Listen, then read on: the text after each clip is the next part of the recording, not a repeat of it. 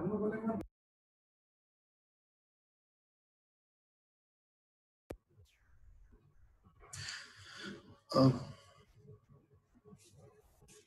hello, everyone. Can you hear me? Good morning, Rajan. Yes. Good morning. Good morning. Good morning. How are you? Or good afternoon. Um, yeah, good morning, good afternoon, good evening to everyone. Yeah, I was just um, that, that Anita just called us. Actually, she is, uh, you know, uh, struggling to log in, so we're just uh, helping her out. Yeah. So, um, yeah, uh, it's time to start uh, uh, second day's session. Uh, uh, good morning, uh, good afternoon, and good evening to everyone. Uh, my name is. This uh, meeting is being recorded.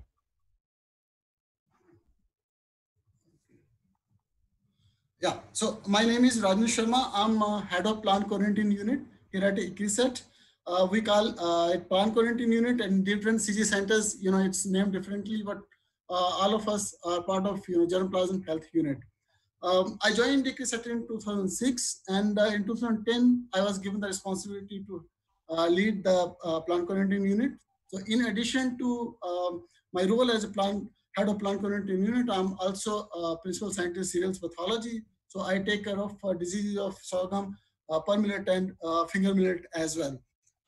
Um, so um, to start with, on behalf of the GHU team and on my behalf as well, I welcome all the participants um, in the s- second day of Phytosanitary Awareness Week focused on Asia region. Uh, there are three uh, CGGHUs uh, present in this region, which are ICARDA, ICRISAT, and IRRI, working in this region for the uh, safe conservation and distribution of germplasm and breeding material uh, of the mandate of the mandate crops of the uh, respective, you know, uh, crop centers. We have uh, three invited speakers uh, from the National Plant Protection Organizations of the host countries. Dr. Rola Al Amil from Lebanese Agriculture Research Institute, Lebanon. Dr. K. Anita, she is head of uh, National Bureau of Plant Genetic Resources, uh, Regional Station, Hyderabad, India. She is uh, NPPO for us.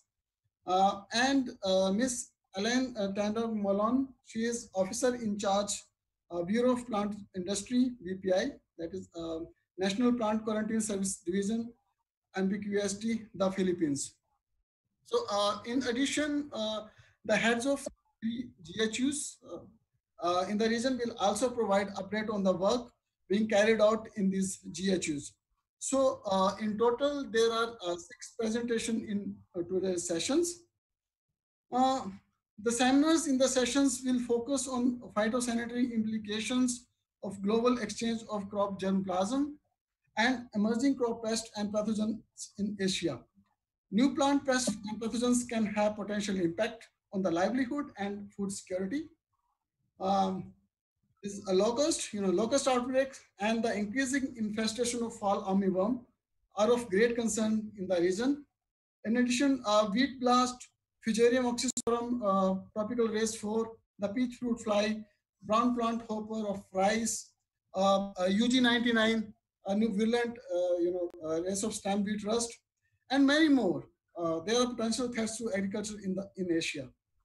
So uh, today's seminars will highlight the collaborative role of the CGIAR GHUs and national plant protection organizations in preventing the introduction and spread of pest of significance uh, in the region as well as uh, throughout the globe. Uh, uh, we'll, we'll first have all those presentations and then uh, we'll take a question and answer in the end. And Dr. Safa uh, Kumari from ICARDA, uh, she's GHU head in ICARDA.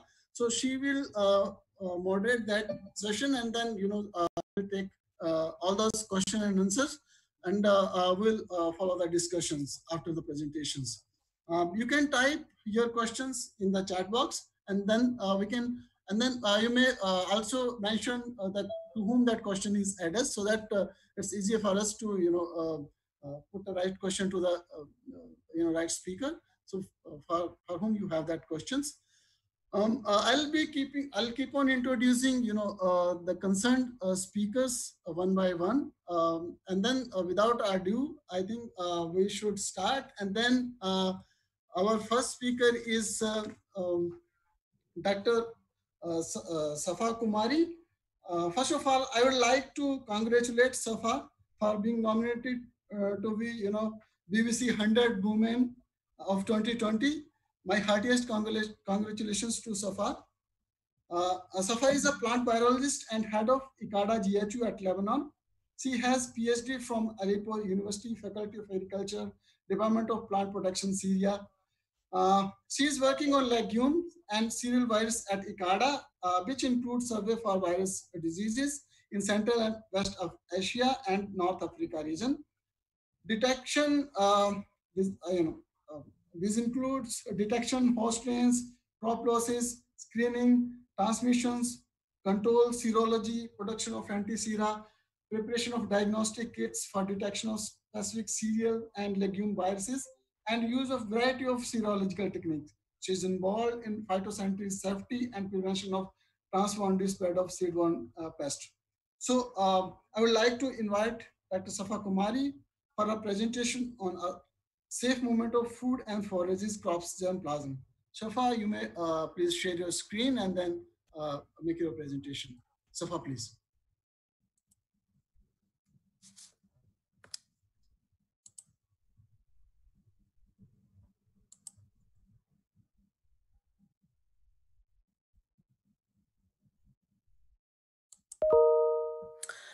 Uh, Good morning. You heard me, Rajan? Yes, yes, please. Okay. Good morning, uh, good afternoon, good evening for everybody from east to west. Hope uh, all you are doing well during COVID-19. But before start my presentation, I would like to thank Slava for your uh, hard work uh, to prepare, organize, and manage this activity. It's really highly appreciated and big thanks to you. Yesterday, I was talking with one, with one of my colleagues at ICARDA, and he told me, thanks for coronavirus. And I told him why. He said that now we can arrange an, an excellent meeting uh, from home and we don't need five-star hotels to present. Maybe it's good, um, uh, uh, I agree uh, with him. Uh, we can arrange a good meeting uh, from home but really uh, I will miss you all because the live meeting uh, has a different uh, the interaction with the people. Uh, you feel that you are uh, contact the people. You you you you can discuss more than what we are doing now for online. And hope I will finish within 10 minutes because you give me only 10 minutes. Uh, I will do my best to complete my presentation within uh, 10 minutes. First, thank you for giving uh, me the opportunity, the opportunity to join this important activity and to uh, introduce to you the safe movement of food and forage crop germplasm at the International Center for Agricultural Research in the dry area.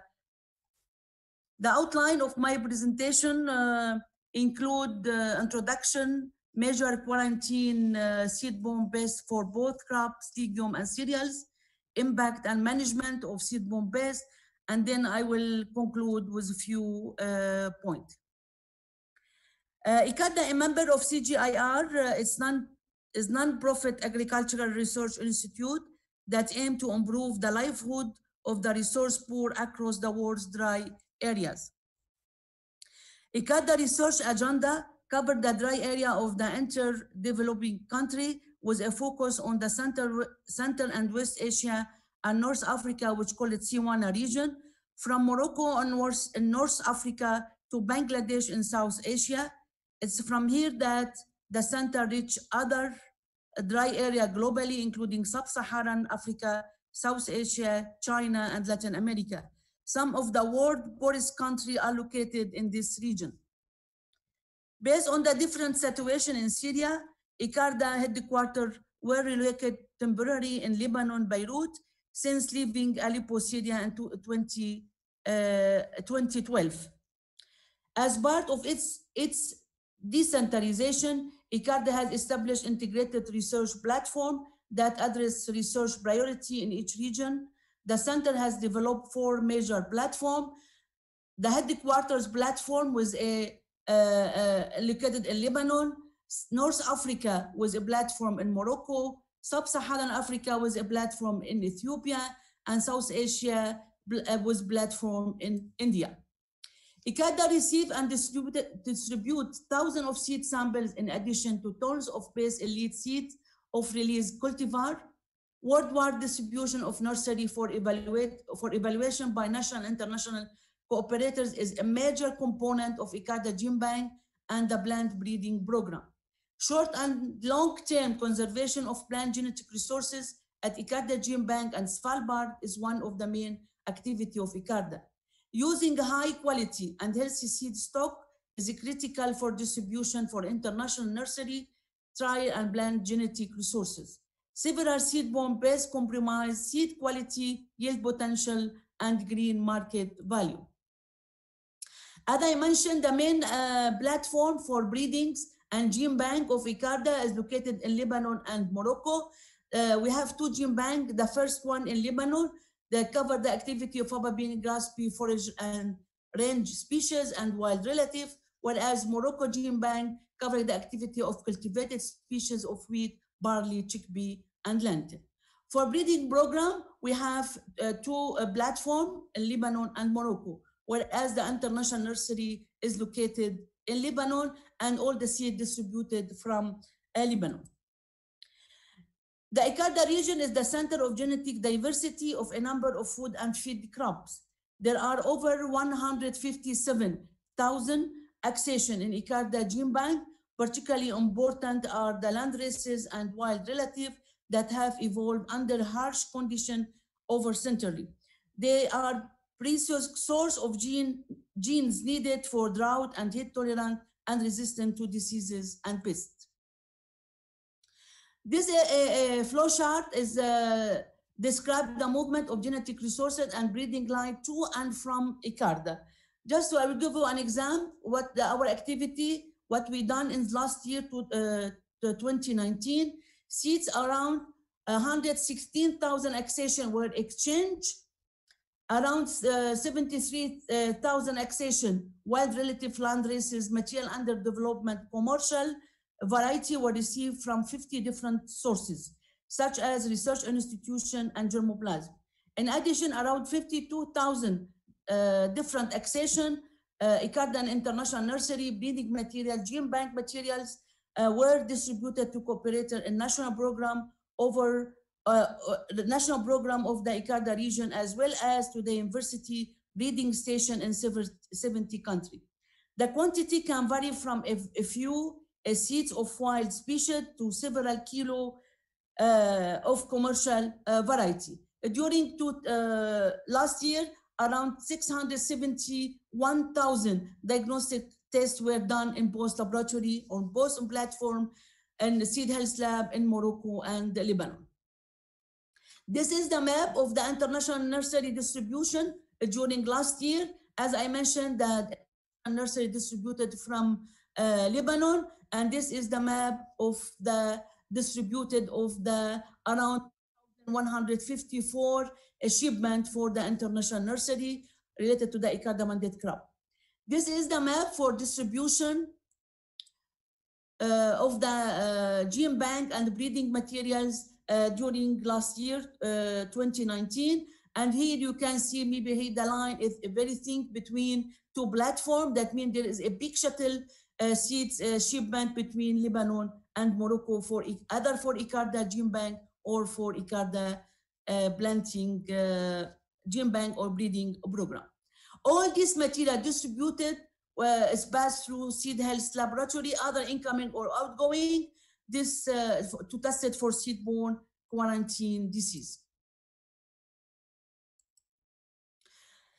The key challenge of food uh, uh, germoplasm, uh, unfortunately, I have many pictures on the screen for, for, uh, for share people. I don't see the, my, my screen. I don't know what I should do.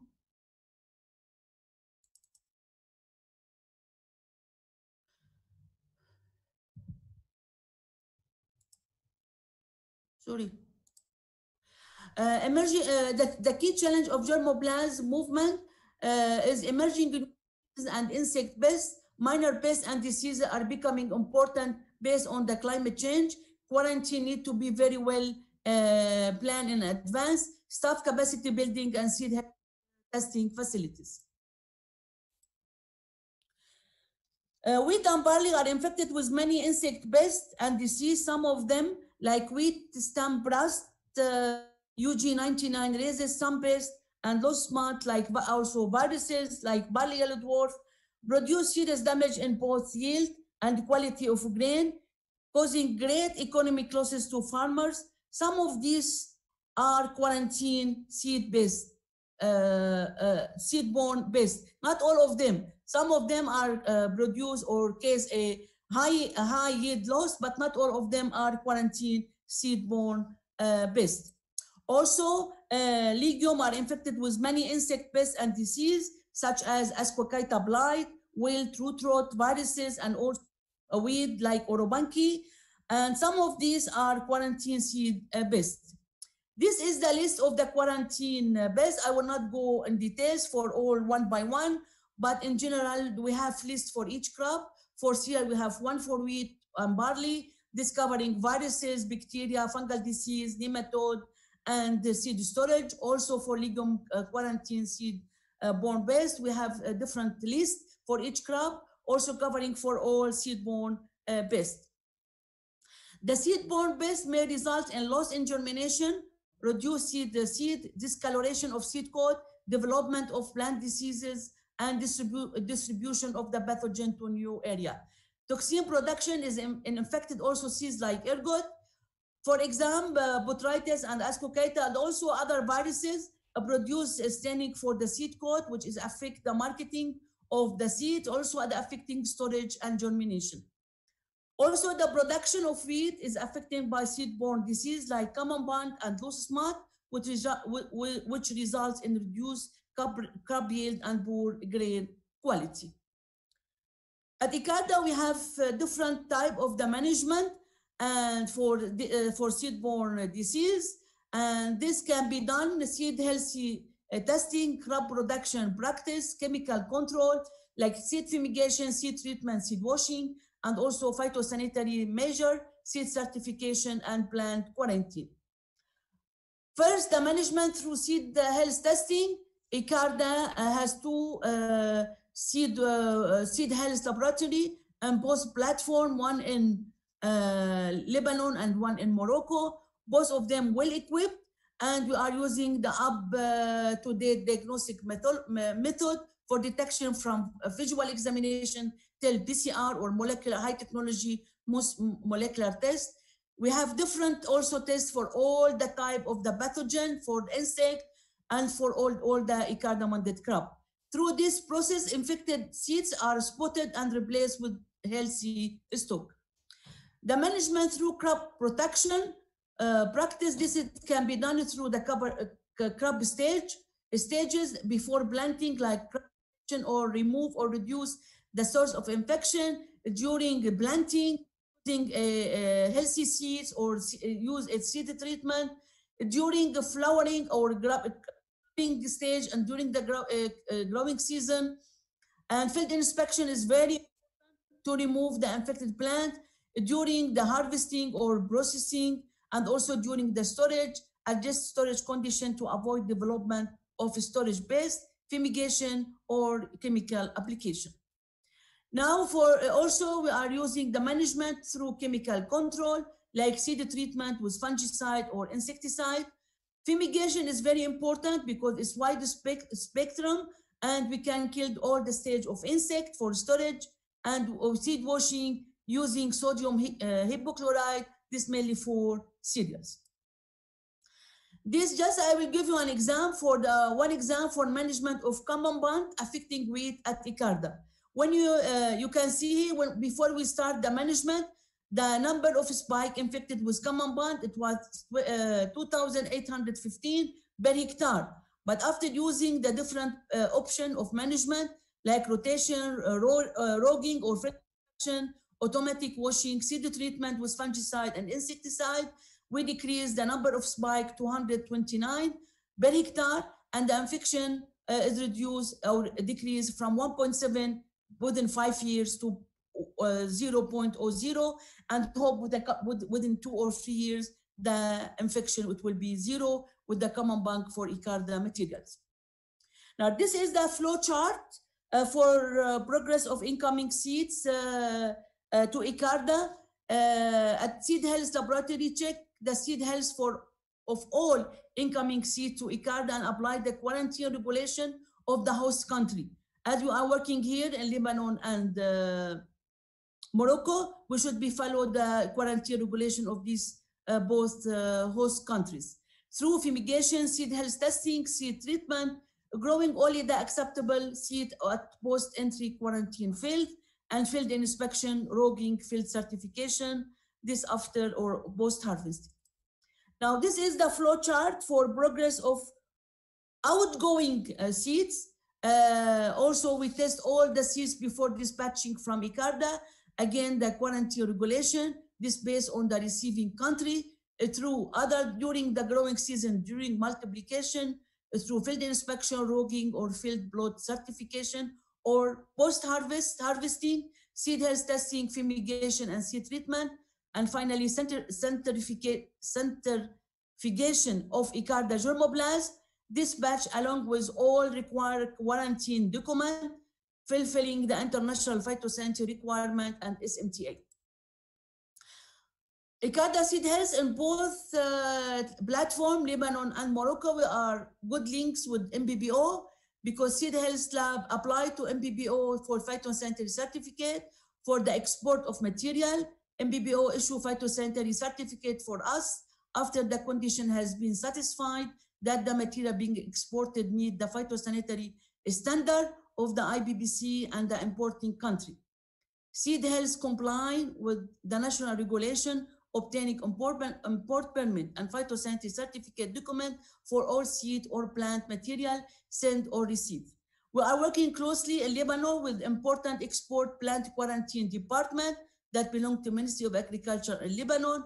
In Morocco, we are working on ONSA, the National Office of Food uh, Safety. This belong to Ministry of Agriculture and Fisheries in Morocco. Conclusion. Oh, sorry.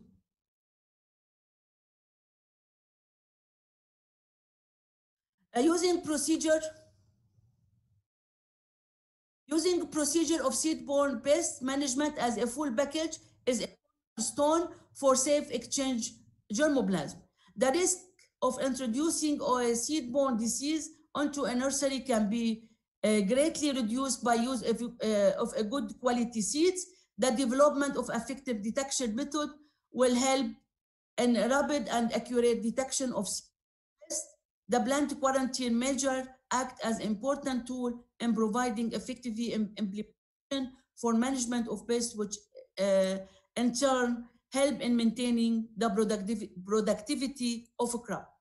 Finally, I would like to thank Icarda Seed Health staff in both platform in Lebanon and uh, Morocco, and thanks for Icarda International staff in Lebanon, and many thanks for Gene Bank, that uh, breeding program staff in both platform, Lebanon and Morocco for their kind.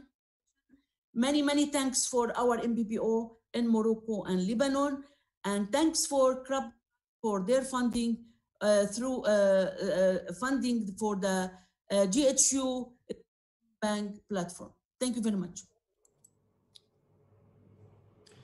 Thank you, Safa, for a nice presentation. You highlighted the, you gave update on the gen, uh, role of uh, health unit in facilitating the germplasm and breeding material uh, of ICARDA, uh, both from Lebanon as well as from Morocco.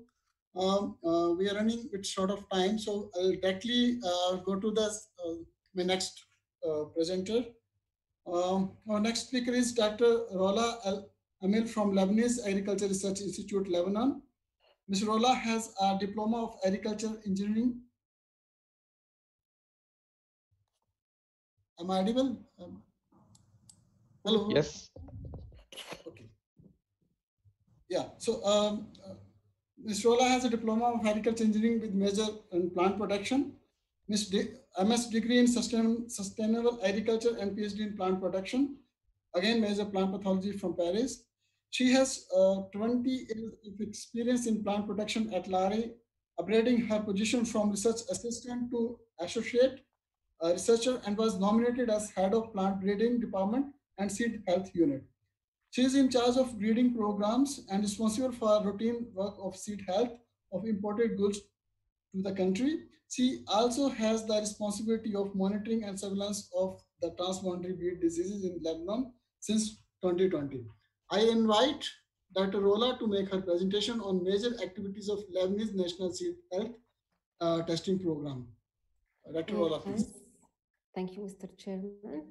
Um, I would like to thank the organizer and uh, Dr. Safa Kumari to give me the, the opportunity to share our experience from uh, the Lebanese Agriculture Research Institute, Lebanon. I will start uh, sharing my screen.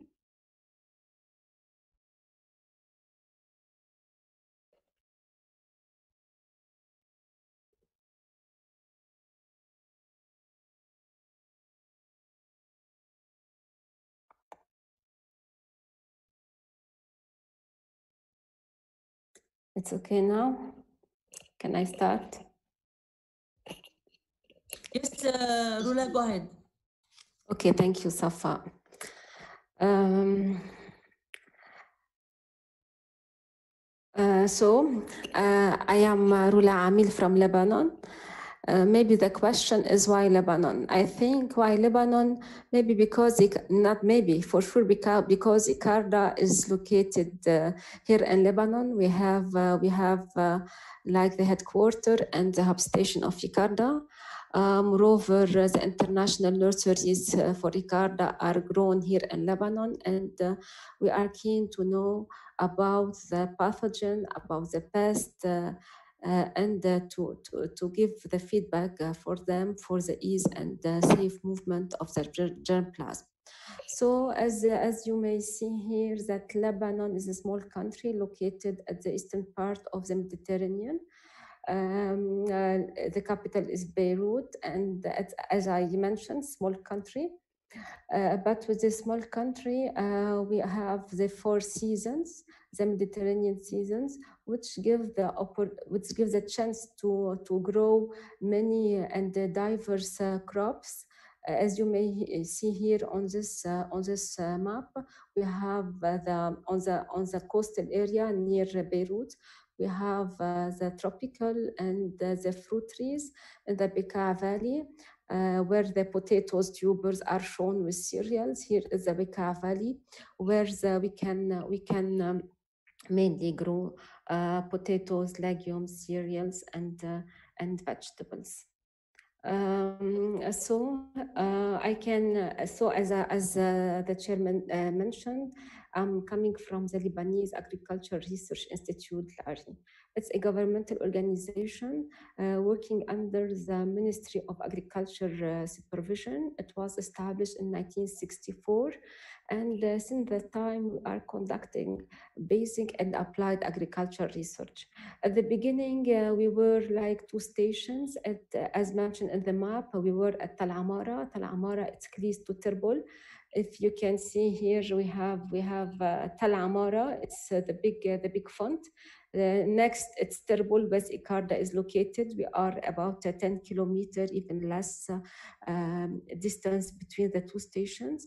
Uh, at the beginning, we were um, uh, Tal Amara and Fanar, and later on, uh, up till now, we are 12 stations across the country, scattered in agriculture areas, and uh, it's, it's scattered in a region to be close to the farmers. And of course, as I mentioned, uh, we have in Lebanon different agroclimatic zones.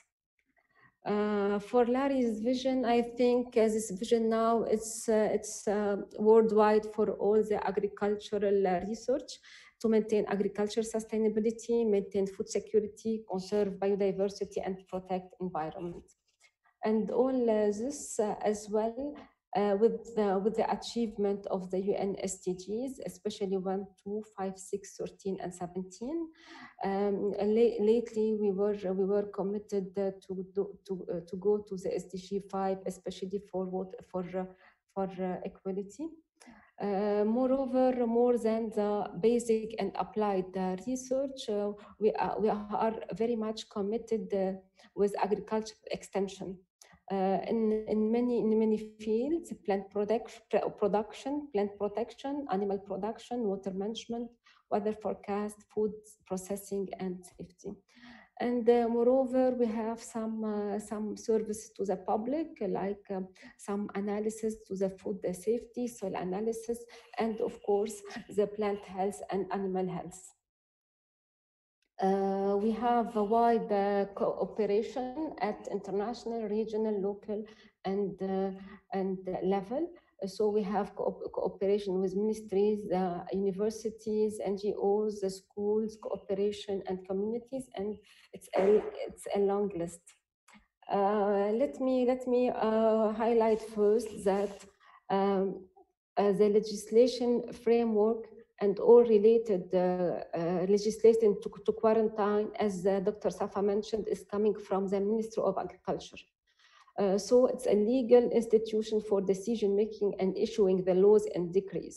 Many years ago, I, I think it was in 2010, um, it was like um, a workshop to put the decrees to protect uh, the Lebanese flora from invasive pests and diseases through importation and uh, many decrees was uh, was done for mango, for potato seeds, potato and wheat for uh, human consumption, forage uh, seeds, seeds, seedlings, wood material, and and bees. Uh, so and from that time we started we started uh, at LARI to to work with this. Um, so the Ministry of Agriculture is the institution that gives the legislation, but the LARI, our institution, is the, uh, is, um, um, uh, uh, is doing the analysis, and we are agreed to give the analysis in our laboratory. So I will be talking about the plant protection department in Tal Hamara and the main headquarters. Uh, they have uh, they have routine and country surveillance to detect and, and identify viruses, phytoplasma, bacteria, fungi that infect crop and the vegetables. And of course, they are evaluating uh, the sanitary status of main food, fruit and and and vegetables. And lately, with the emergence with the emergence of of new new diseases. Uh, the plant protection department is monitoring the quarantine uh, disease of uh, potatoes. Uh, as we can see, we have Ralstonia solanacearum and Clavibacter michiganensis, and they are identifying these two uh, these two diseases with under uh, fluorescent, microscopy and they are working very closely on plum pox viruses and you know with the emergence of Granula fastidiosa, all the Mediterranean, all the Mediterranean uh, countries, they are working on this uh, diseases. On the plant, on the nematode department, um, as well, uh, they are working on detection of, of plant uh, parasitic nematodes use, using diff different techniques of extraction and, and morphological identification. Uh, they are working on many on many nematodes, and they are trying to uh, to identify uh, new to identify new nematodes. Um, they are highlighting more on these quarantine diseases, uh, Globodera rostochiensis, Ditylenchus destructor, Ditylenchus uh, dipsaci, especially on, uh, on the legumes. And they are working now on Bursaphelenchus, on pine, uh, it's on pine. Uh, so from the entomology as well, uh, they are conducting in-country pest surveillance on many crops uh, as uh, it's fruit flies, lobesia, tuta, and uh, tuta absoluta. Um, it has been really a major, a major pest on tomatoes. Um, and now we have some work on tuta uh, by identifying some uh, peptides or entomotoxin from uh, Pisum uh, in order in order to in order to uh, to um, in order to minimize the population of tuta in the grass houses.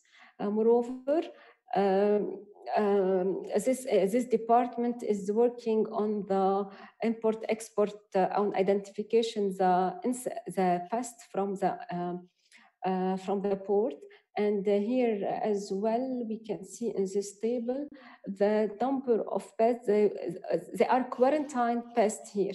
We don't have in we don't have them in Lebanon but we have them in other country of course. And uh, we can uh, the, the department or the engineer in charge uh, could identify these pest and of course once we identify the pest in the commodities the commodities the commodities are rejected and they are banned to enter the country uh, in fact, uh, I will be um, I will be talking now about- the plant breeding health, seed health lab and the National Gene Bank. In fact, it's um, it's it's we are uh, working closely here because uh, we cannot uh, we cannot separate the, the plant genetic resources from the from the from the diseases from plant breeding. Uh, so uh, at Tal Amara, we have a seed bank uh, that was established in 2020 in collaboration with the Millennium Seed Bank. And uh, it contains 1,376 seed collection from 82 plant families. And uh, all, all our, um, our flora, it's representing 31% uh, of the Lebanese flora. They used to be shipped to Svalbard to be, to be kept uh, to be kept uh, there for uh, for emergency. Um, uh, so for the seed health test in Lebanon, what we are doing. So as as Dr. Safa mentioned that for the ease and the safe germplasm movement, we have to, to deliver a clean product. Uh, so this is a list that uh, of the quarantine pest and disease. Uh, we don't have Tilletia controversa in Lebanon. We don't have uh, Karnal uh, Tilletia indica. Claviceps, Claviceps purpurea, we don't have it. As well the nematode, Anguina tritici. Uh, we did surveys many times for it and we couldn't find it, um, uh, thanks God. Um, uh, lately, it was like five years ago, we have uh, an invasion of uh, the Solanum elaeagnifolium uh, in, in the um, northern uh, part of the Bekaa, but uh, this the Solanum was eradicated once we, we, we found it. But and late and then later on we could not find it, so it was it's on the list of the quarantine weed as well. If uh, Trogoderma granarium, we don't have it in Lebanon, and uh, it's on the quarantine list. Uh, since all this list we don't have it, uh, we are keen uh, to identify and to search for and uh, for for the for from the uh, shipment we're receiving uh, to Lebanon if we have this disease and pest or not.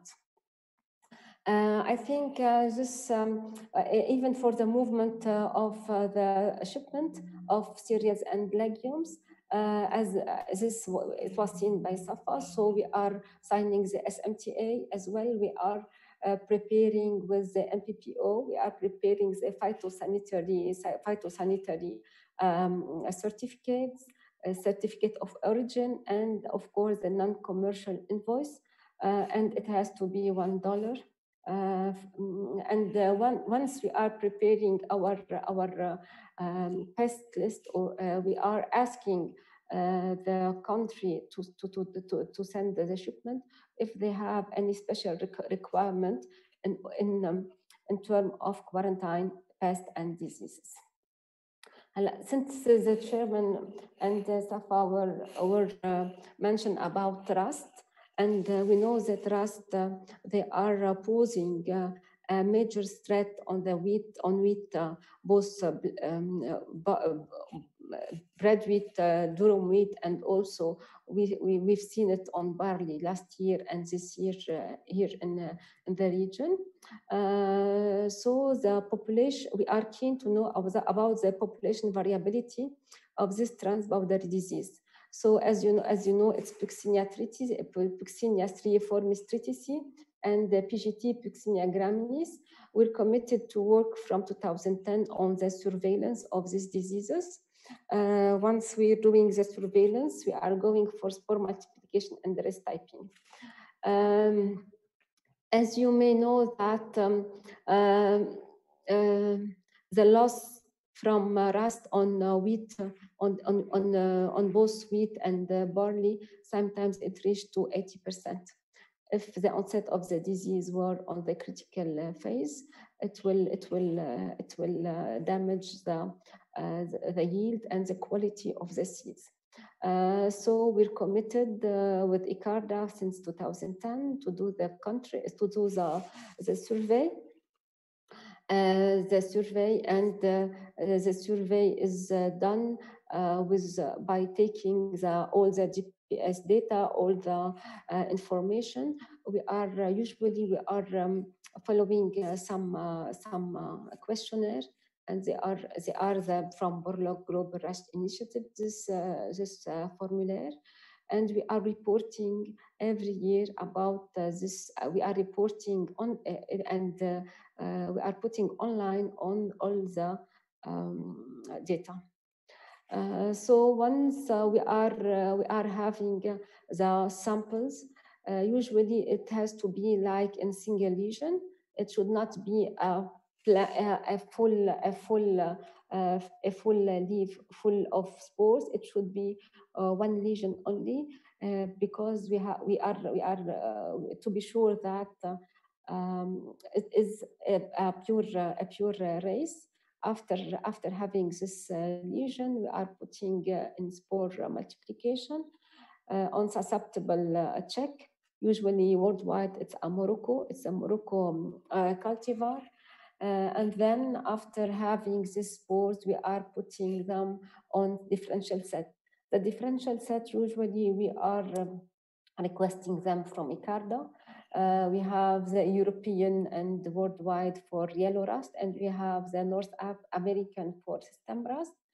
Uh, usually, when when we are uh, inoculating, we have uh, we are uh, we are putting the plants in under controlled under under controlled condition from uh, temperature and from light because you, you know that the uh, the the yellow the both rust or three rust they are uh, they, they have some high uh, requirement uh, of light for spore multiplication for spore multiplication. Uh, once uh, once we are we are having the symptoms on the on the plants, in fact, after 15 uh, days we are we are scoring are scoring their diseases uh, following some scales. Um, in fact, um, based on this, we are uh, we are uh, we we came out with the with the conclusion that uh, last year in 2019 and 2020 uh, we have uh, two genes that were broken and it was YR10 and YR24 the years before it was not uh, on the pathogen with the pathogen uh, and um, this race was very common on uh, durum uh, because you as- you know, the um, yellow rust uh, before it was uh, it was uh, solely, to to bread wheat, but from last year from la- from from last year we started to see it heavily on uh, durum wheat, and that, that's why we call it durum race. It's a yellow rust durum race with the with the breakdown of YR10 and YR24, and uh, it's new to the region. And this uh, and this information could be very important for the breeders in uh, in the in Lebanon and and for the region as well.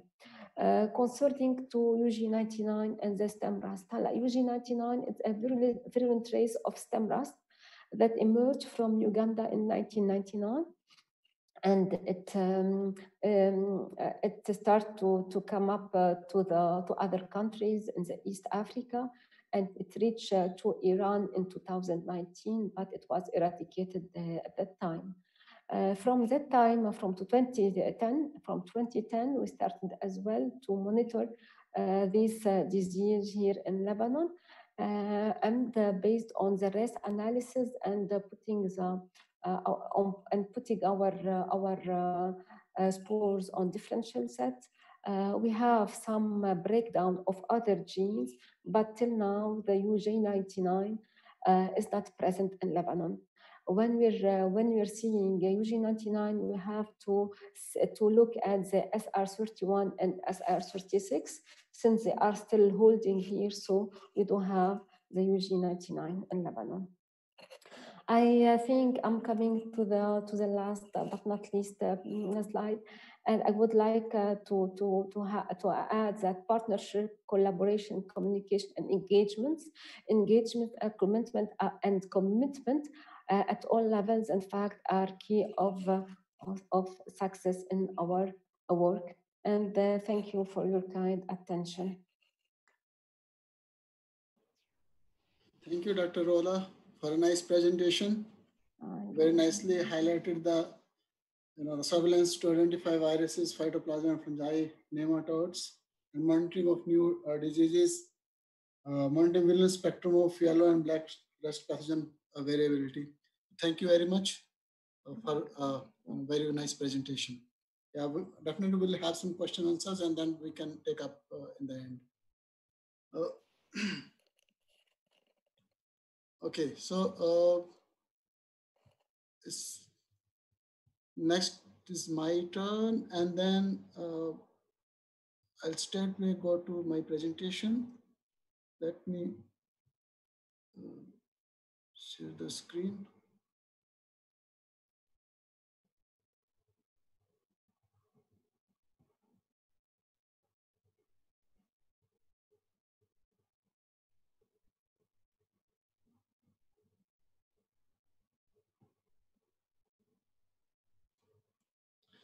Okay, so is it visible?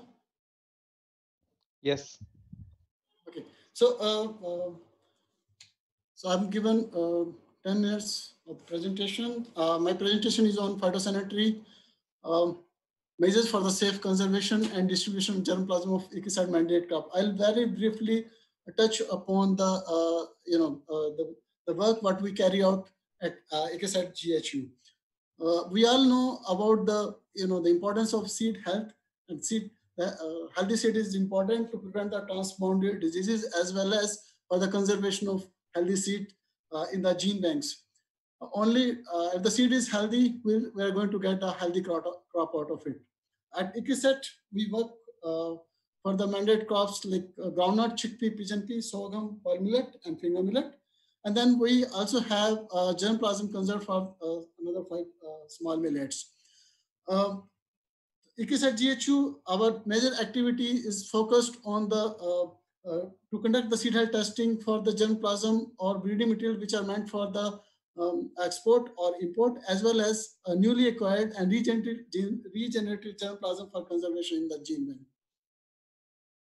Uh, uh, coming to the export process, you know, we have uh, um, uh, you know different samples that comes to uh, GHU for quarantine clearance. So uh, whatever we do, that's in collaboration with our NPPO and for us, uh, because we share germplasm uh, in small quantity for and for small quantity, the NPPO is NBPGR, that is uh, National Bureau of Plant Genetic Resources. On the right hand side, you'll see the, the, the process, the quarantine process, what we follow and different steps involved. There are certain mandatory tests and uh, there are certain additional tests which are required uh, uh, for the quarantine processing. But uh, in addition, now we have another step actually, uh, which is the uh, before we actually initiate the process of quarantine clearance, we need to get the approval from Government of India uh, for the uh, uh, for the export request. So what we have to do is now uh, this is again the responsibility of GHU uh, at ICRISAT to uh, collate all the uh, documents from the concerned scientists who tend to export their material. So uh, these are the uh, declaration certificate. There's a performa invoice, uh, seed list. Then uh, we, because the germplasm is exchanged under SMTA, so we need to have that SMTA and MTA. It's a breeding material as well as the import permit. So all these these documents they are compiled and then they are submitted to the government of India, the NFP, you know, national national focal point for the uh, approval. So once uh, these documents they are approved, only then uh, uh, I mean once that export request that's approved, only then we can initiate the quarantine at the actual quarantine clearance of the uh, those samples. Now, uh, these are the actually, uh, Safa also mentioned, you know, the different steps, uh, what uh, we usually follow for the, uh, uh, you know, to test the seed health status of this germ, uh, the germplasm or the breeding material. So I'll also highlight a few of them. Um, so there are certain mandatory tests and then uh, there are certain additional tests also, there. These additional tests, they are, uh, you know, they are based on the requirement of the importing country. So if in case of, in case on the import permit, there are certain additional tests, uh, uh, additional declaration which are required. So we need to meet those declaration as well. And then we need to conduct all those tests. So uh, the when we receive the material in uh, our PQ or uh, GHU, so very first step what we need to do is we have to fumigate that material. So we uh, have the accredited fumigation operator both for aluminum phosphate as well as for methyl bromide. So uh, the, uh, we treat these seeds um, and the objective here is the every seed whatever I mean enter the GHU, it should not carry any you know infected pest along with it. So it may, uh, uh, you know, otherwise it may contaminate the seed as well as also it's a requirement for many countries that the seed should be treated with the, uh, um, the fumigants as well as it will protect if there any infestation of the uh, insect pest is there. After that, we uh, go for the visual examination. Um, so this is done just to, you know, uh, select the apparently healthy seed. So if there is some discolored or some suspected seed is there, so during that process, that seed is eliminated, and then we actually go for the blotter test. Um, uh, we uh, you know incubate the seed sample in the uh, moist petri plates uh, for seven days, and then we uh, observe it under microscope uh, to look at if there is any associated pathogenic fungi present or not. And then there are another test called seed washing or sedimentation test. So this is done in case you want to identify association of any rust or smut fungi is there. And then uh, uh, ultimately, we can also go for the grow out test, uh, especially in case if, there is, we suspect any virus infection is there. Um, yeah, uh, coming uh, directly to the uh, number of samples exported, I, am specifically, you know, mentioning about the last year, how many samples we process. This, this is just to show that, you know, the, the amount or the number of reactions what we carry out in I mean, this is true with all the GHUs and especially in case of uh, uh, plant quarantine unit at ICRISAT. So during 2019, we exported seed sample for propagation. Um, uh, there were total 39 consignments uh, and the total number of sample analyzed was 6,848. And uh, out of which 369 samples, they got rejected because of the association of uh, some of the current quarantine significant pests. So in addition to material, uh, you know, exported for propagation, we also facilitate the export of uh, some of the material which is used for the, I mean, which is exported for some of the destructive chemical analysis. Uh, uh, some specific experiment are required. So that also we facilitate that export. And then there were total 16 consignments, and then we have um, exported around more than 5,000 samples during last year. These are the, uh, when we talk about the germplasm exchange, there are two very important documents, as you mentioned. So first is import permit, which is in, issued by the importing country. And then, uh, you know, if based on the pest risk analysis or, uh, you know, the, the crop from which country the, the particular country is importing, so uh, they can, they have them uh, some specific uh, guidelines or additional declaration as well. So what, so those are, you know, mentioned in the import permit.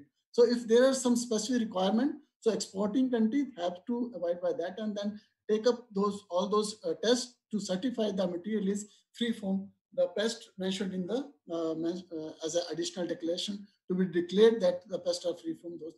Uh, the sorry, the seed is free from those pest and pathogen. So here's a, one example of uh, the import permit, and then based on the uh, test conducted, the the, those the results are shared with the NBPGR, who is our NPPO, and then once they are satisfied, then uh, this phytosanitary certificate is issued. So um, after that, the seed are uh, you know treated with some chemical fungicide if allowed by the importing country, and and finally the seed is dispatched along with the this import permit and the phytosanitary certificate to the uh, concerned uh, consignee.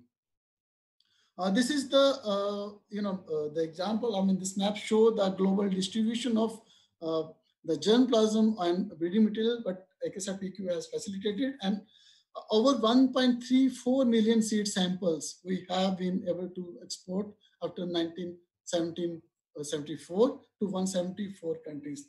And uh, this include the germplasm for all the six mandate crop as well uh, the small millets. And all this has happened because of our close collaboration with the uh, NBPGR. And then uh, we probably say it has been done without, uh, and, um, and even as without any single interception of any pest of exotic you know, origin.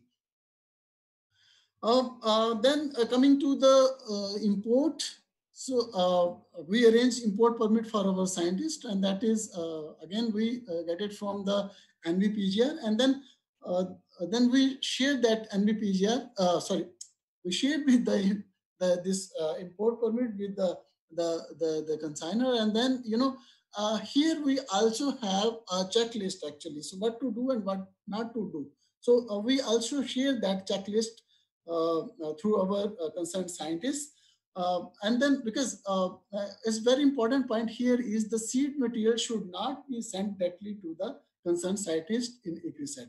It has to be sent to the Director, National Bureau of Plant Genetic Resources, New Delhi.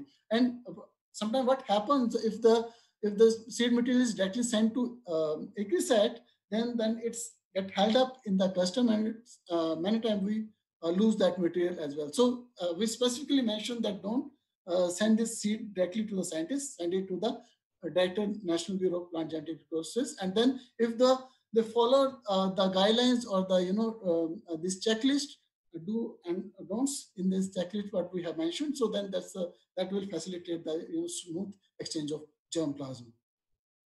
Uh, this is uh, the example for 2019, uh, how many samples we uh, have imported uh, uh, from different countries for the different crops. So somewhere around 6,000 samples were import, imported, imported with the total more than 11,000 diagnostic reactions again, um, uh, if we look at the you know uh, compiled list, we have uh, imported some um, um, the samples from 96 countries till you know 2019, and then on the left left hand side you'll see the you know the crop grown in the post entry quarantine isolation area.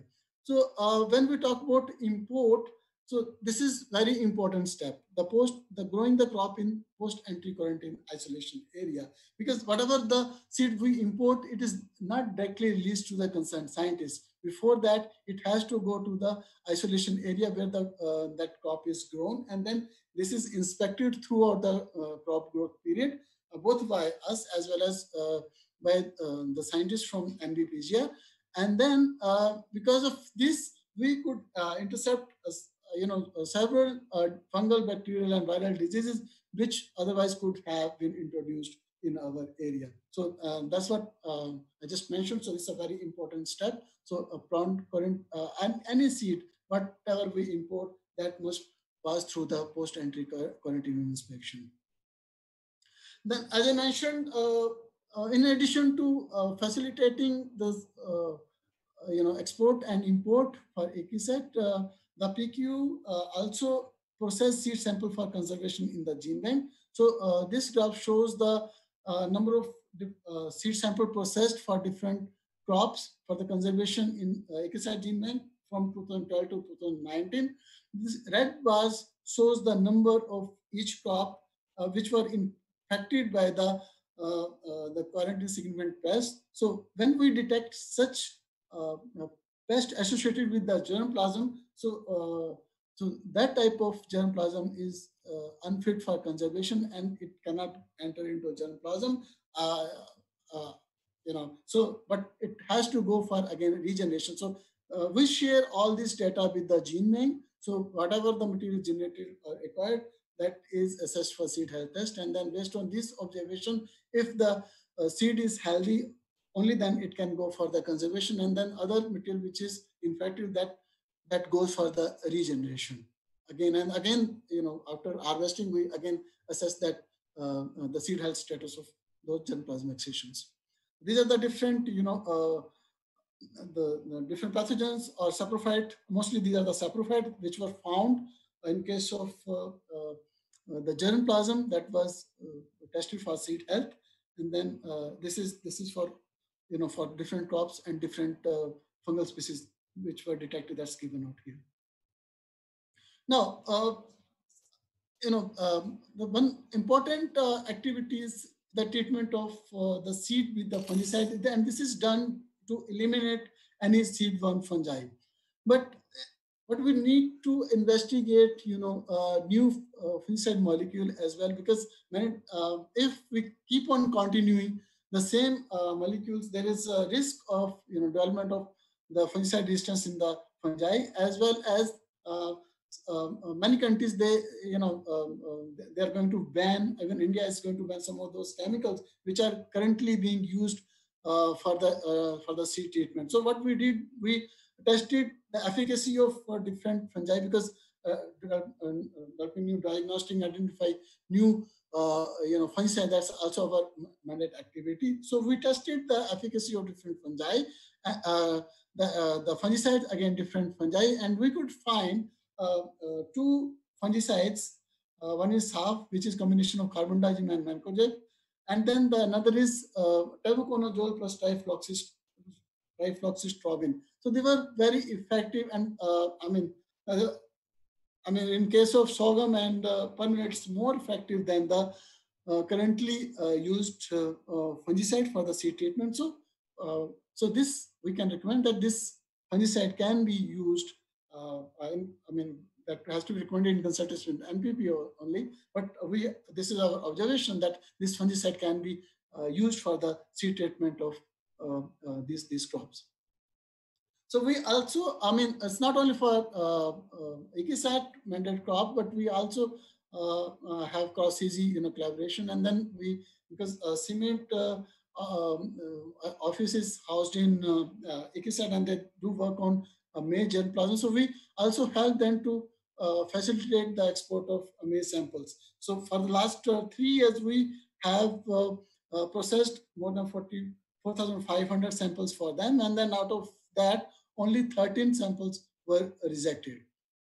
All our activities uh, that have been mapped to this uh, operational map and there are different component. And then because we are moving towards the quality management system in our GHU, so all these activities, they are guided by a specific SOPs. So, so for each of these activities, uh, we have different SOPs and those guide these uh, um, uh, those specific activities. Uh, there are certain new initiative at the CG level. So we are uh, working on you know um, exploring the possibility of using non-invasive techniques for seed-borne uh, pest uh, and pathogens. Uh, use of you know uh, nucleic acid based techniques. We are at present at ICRISAT, we are not using it, but we are exploring. As I mentioned, we are moving towards quality management system. We have already the SOPs developed, then working instruction for equipment. Uh, we're in process of having barcoding system to capture seed health test data. I already mentioned the um, testing of efficacy of different fungicide and identifying new fungicide for seed treatment. And then capacity building is also one of the component. We are all, uh, you know, we are doing this phytosanitary awareness week. Um, um, and then uh, we also do some of the training uh, to national international plant quarantine staff in collaboration with National Institute of Plant Health Management based at Hyderabad. So uh, thank you very much for your uh, patience listening to my presentation. And then uh, I would like to specifically thank GeneBank platform um, and especially uh, NBPGR or NPPO and my colleagues in GHUs. Thank you very much.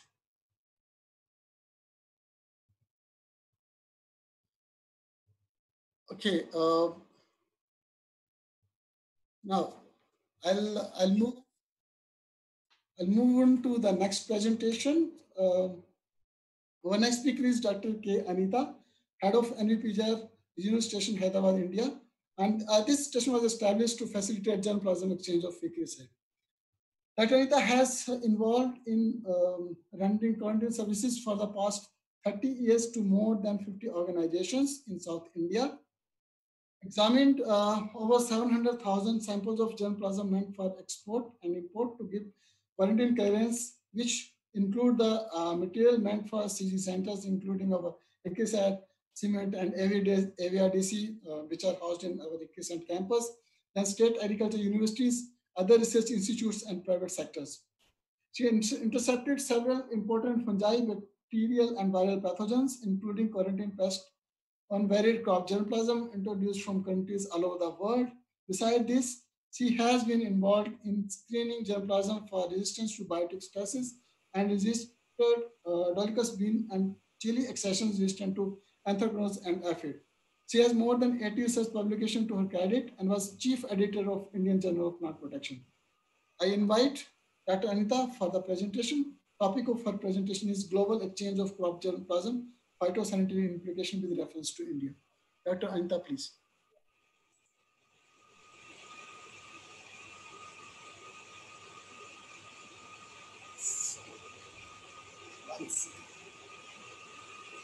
Thank you, Dr. Rajan, for the uh, introduction. And a very good afternoon to all of you. I hope I am audible. Yes, please. Yes, please.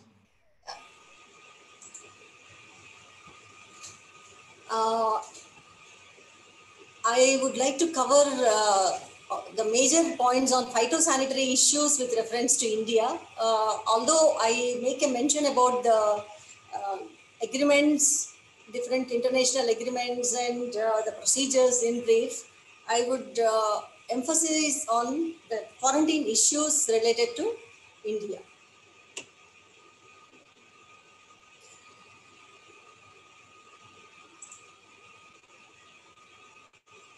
Uh, all of you are well aware that the plant genetic resources are the uh, key building blocks for the crop improvement program and the diversity, genetic diversity is uh, very, very important for the, to meet the requirements in future climate change and also the uh, current crisis.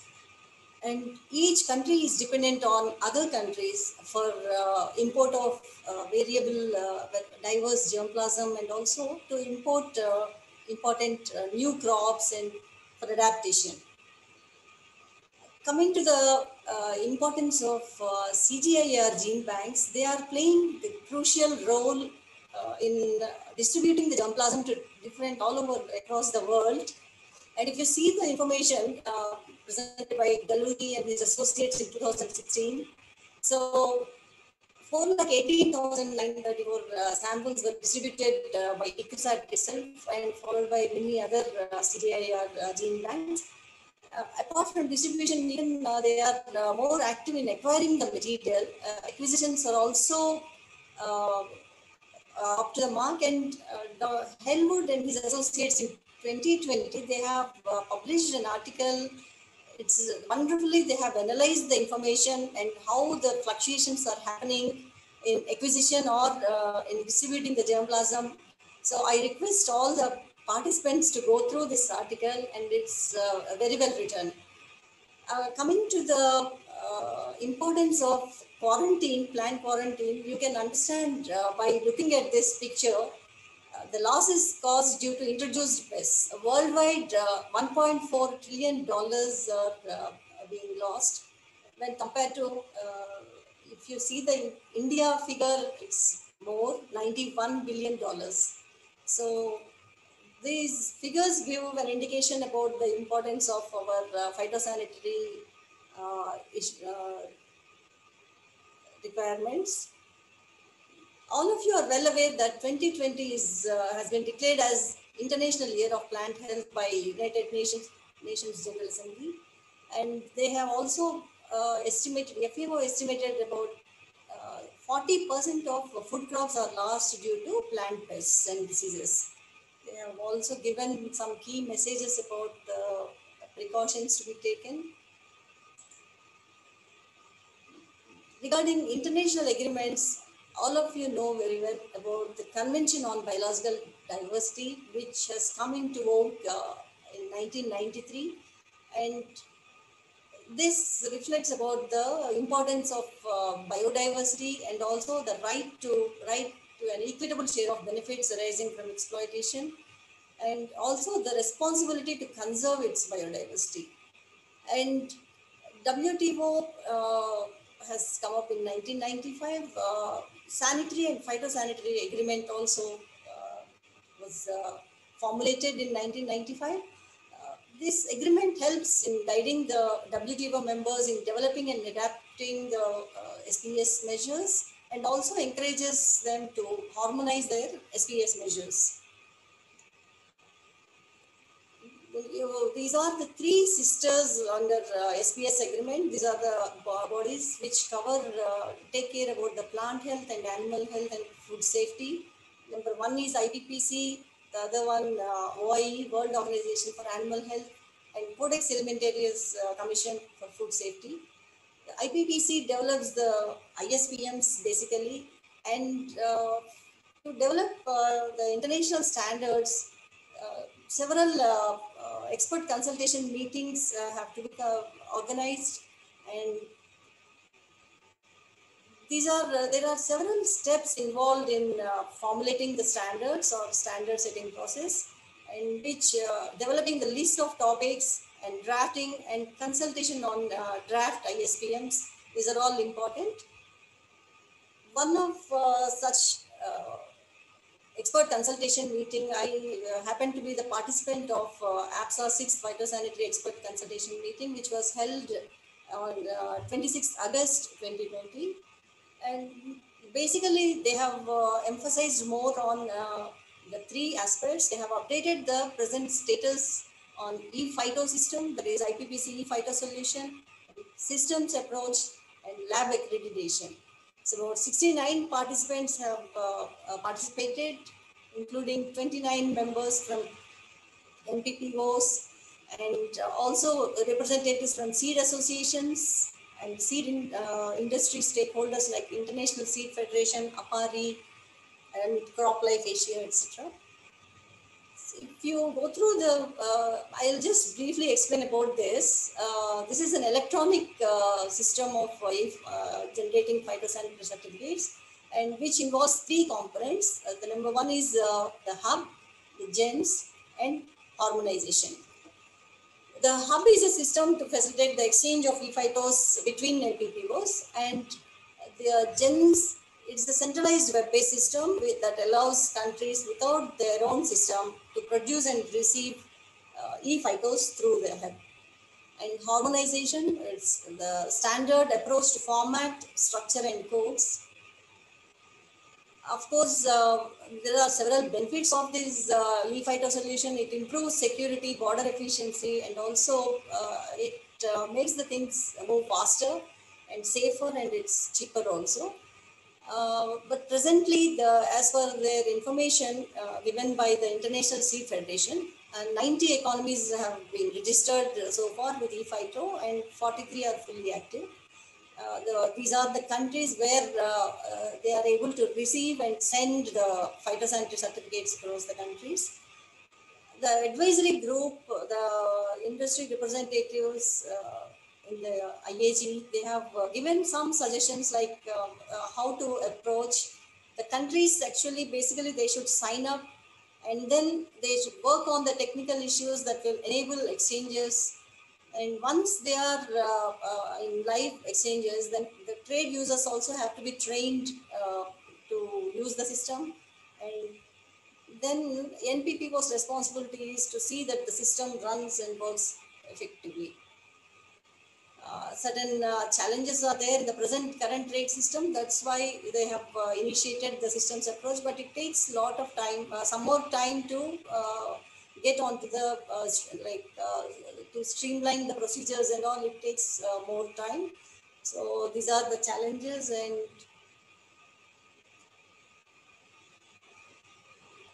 if uh, regarding lab accreditation also, like they have updated the status coming to the Indian scenario, the regulations part, uh, the we follow base, the basic uh, regulation is the Destructive Insects and Pest Act 1914, followed by the Plants, Food, Fruits and Seeds Order. From time to time, the, these regulations have been uh, revised and uh, now the presently plant quarantine regulation of import in India Order 2003 uh, is in existence and several amendments uh, took place uh, about 84 uh, as on uh, 20th July. this is the structure uh, uh, framework uh, of uh, the NPPO, how our quarantine system functions. Under the Ministry of Agriculture, uh, two wings are there, Department of Agriculture Cooperation and Farmers Welfare and the Department of Agricultural Research and Education. DAC and FW, they take care of the commercial consignments, whereas ICAR, uh, the NBPGR under the umbrella of ICAR, we take care of the material meant for research purpose. So uh, for commercial consignments, again, uh, the, under this NPPO, uh, regional plant quarantine stations are there and uh, plant quarantine uh, stations, about uh, seaports 46, airports 24 and land frontiers 24 are there.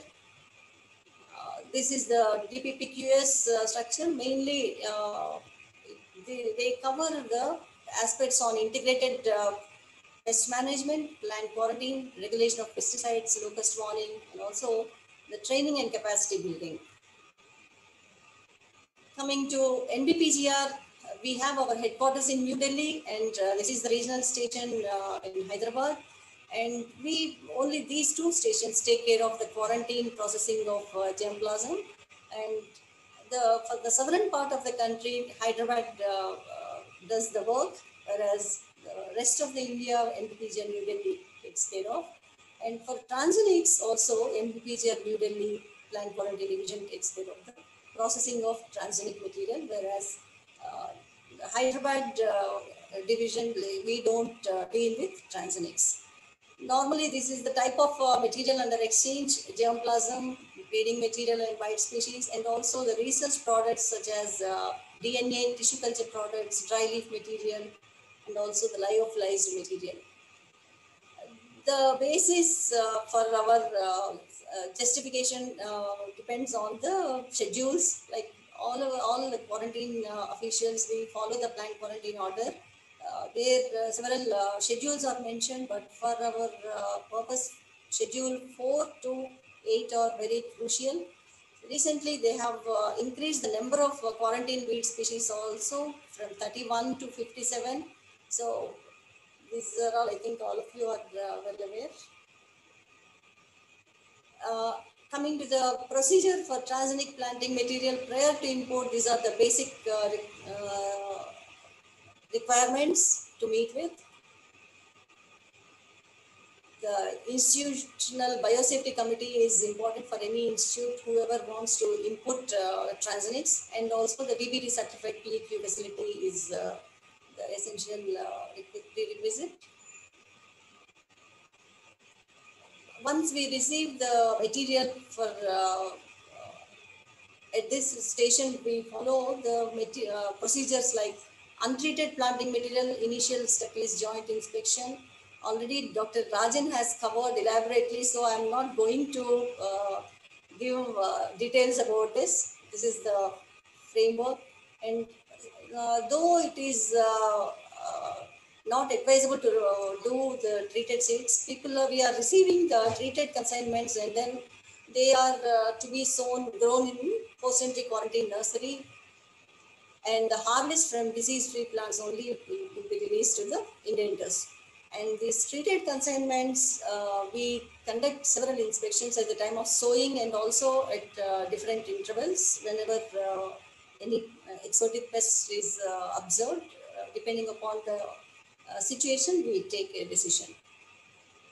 Coming to the transgenics, like uh, the procedures are similar. The Only thing is uh, they are grown in the containment facility. This is essential, and also those uh, they will be tested for the absence of terminator gene like PCR, and for virus testing also several uh, procedures are being followed. If you see the previous five years uh, data, about 35,898 uh, accessions have been imported by CGR centers and processed by us, Icrisat, CIMMYT and IFRI.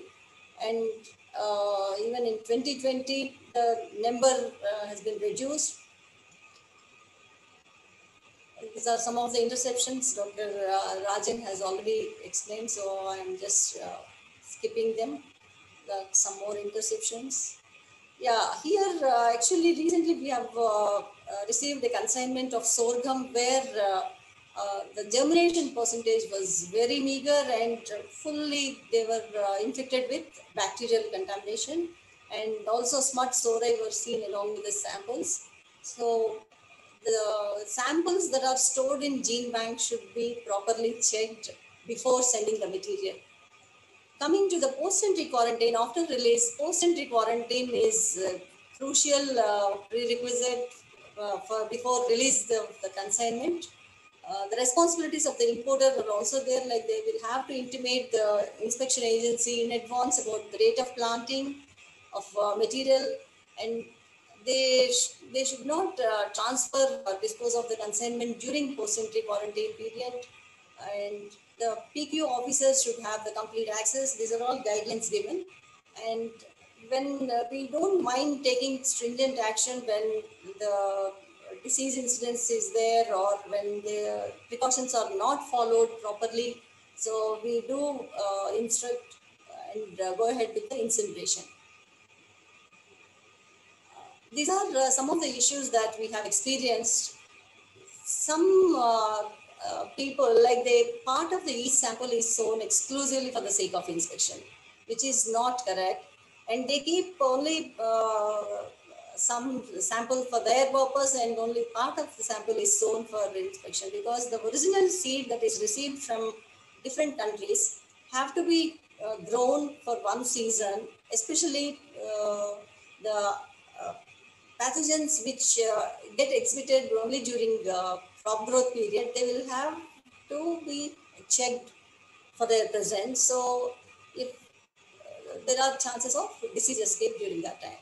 And another one is growing of local variety in the borders of isolation area. These are also in spite of the uh, instructions given, like sometimes they neglect to see the uh, instructions and then they raise the local variety in the borders of isolation area. Uh, moreover, they are curious to see how their uh, imported germplasm is performing as compared to the check variety.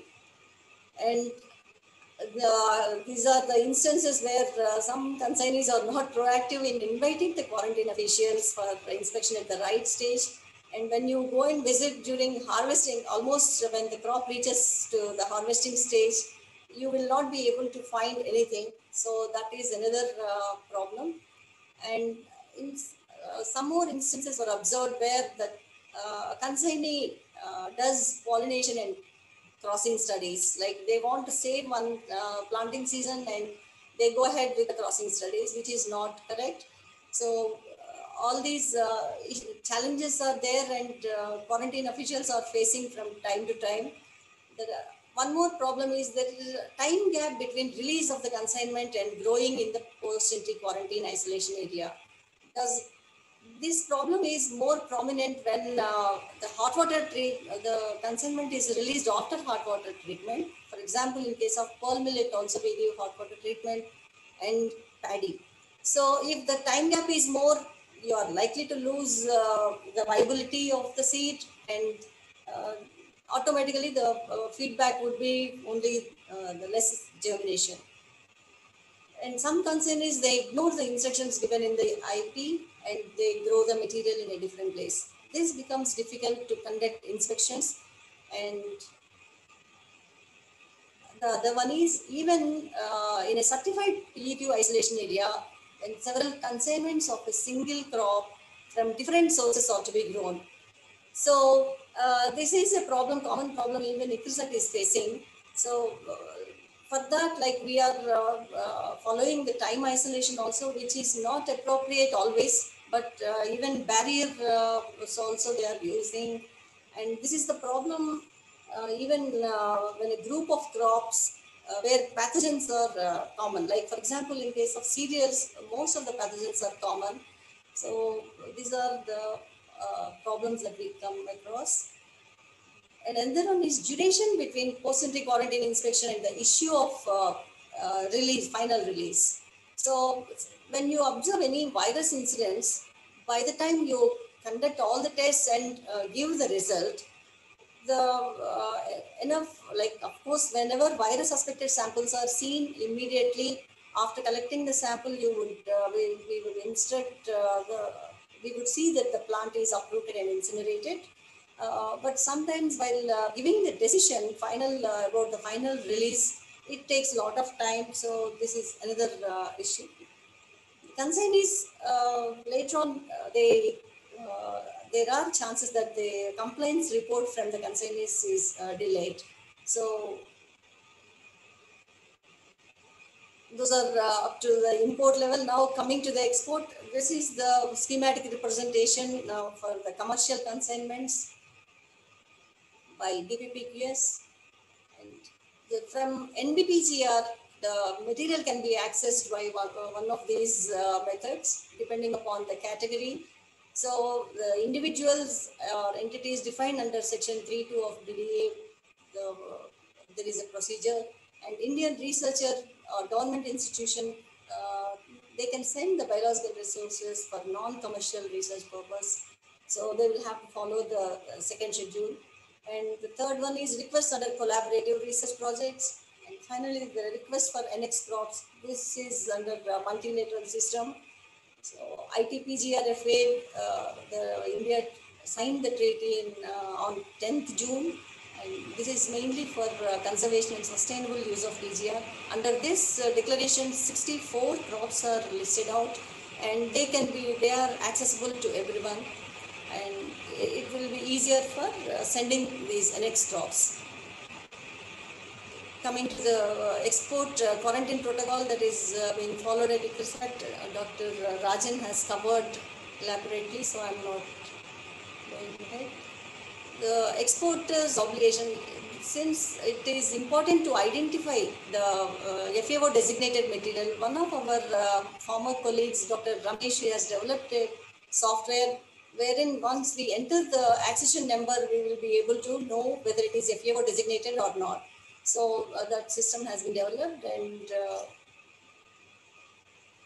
this is also already Sir Dr. Rajan has highlighted, he reduced my work and apart from the export processing, uh, NBPGR also uh, involved in uh, sending samples for conservation in Svalbard Gene Bank, Svalbard uh, Global Seed Vault. So, take this at.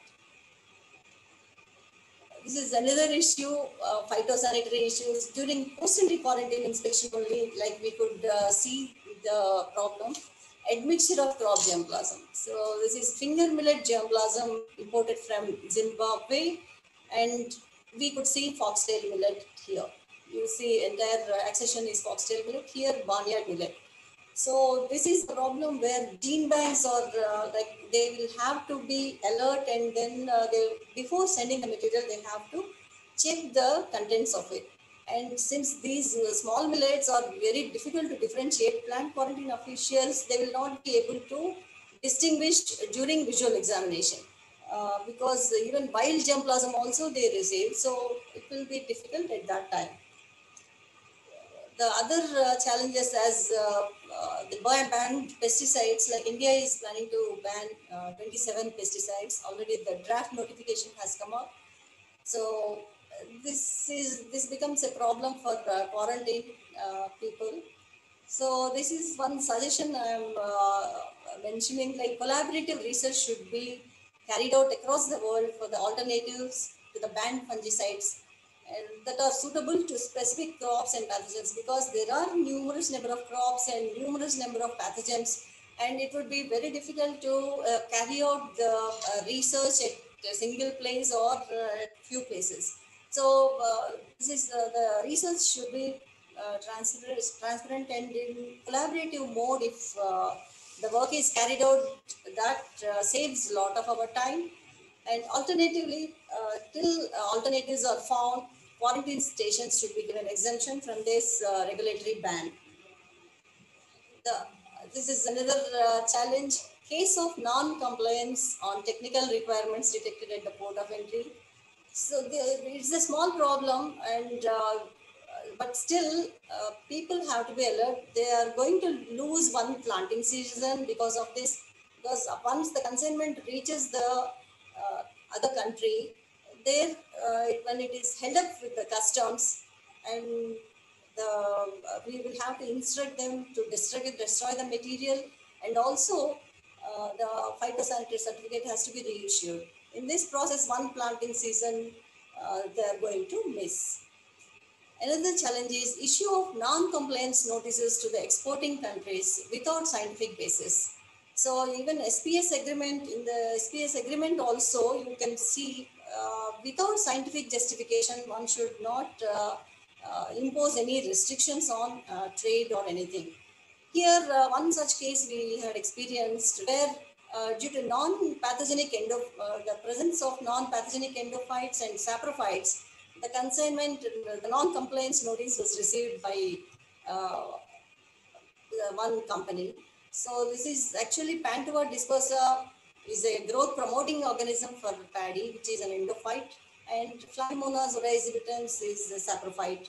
So before uh, issuing the compliance notice, one should uh, be cautious because the, the relationship across the between the countries should not uh, get hampered.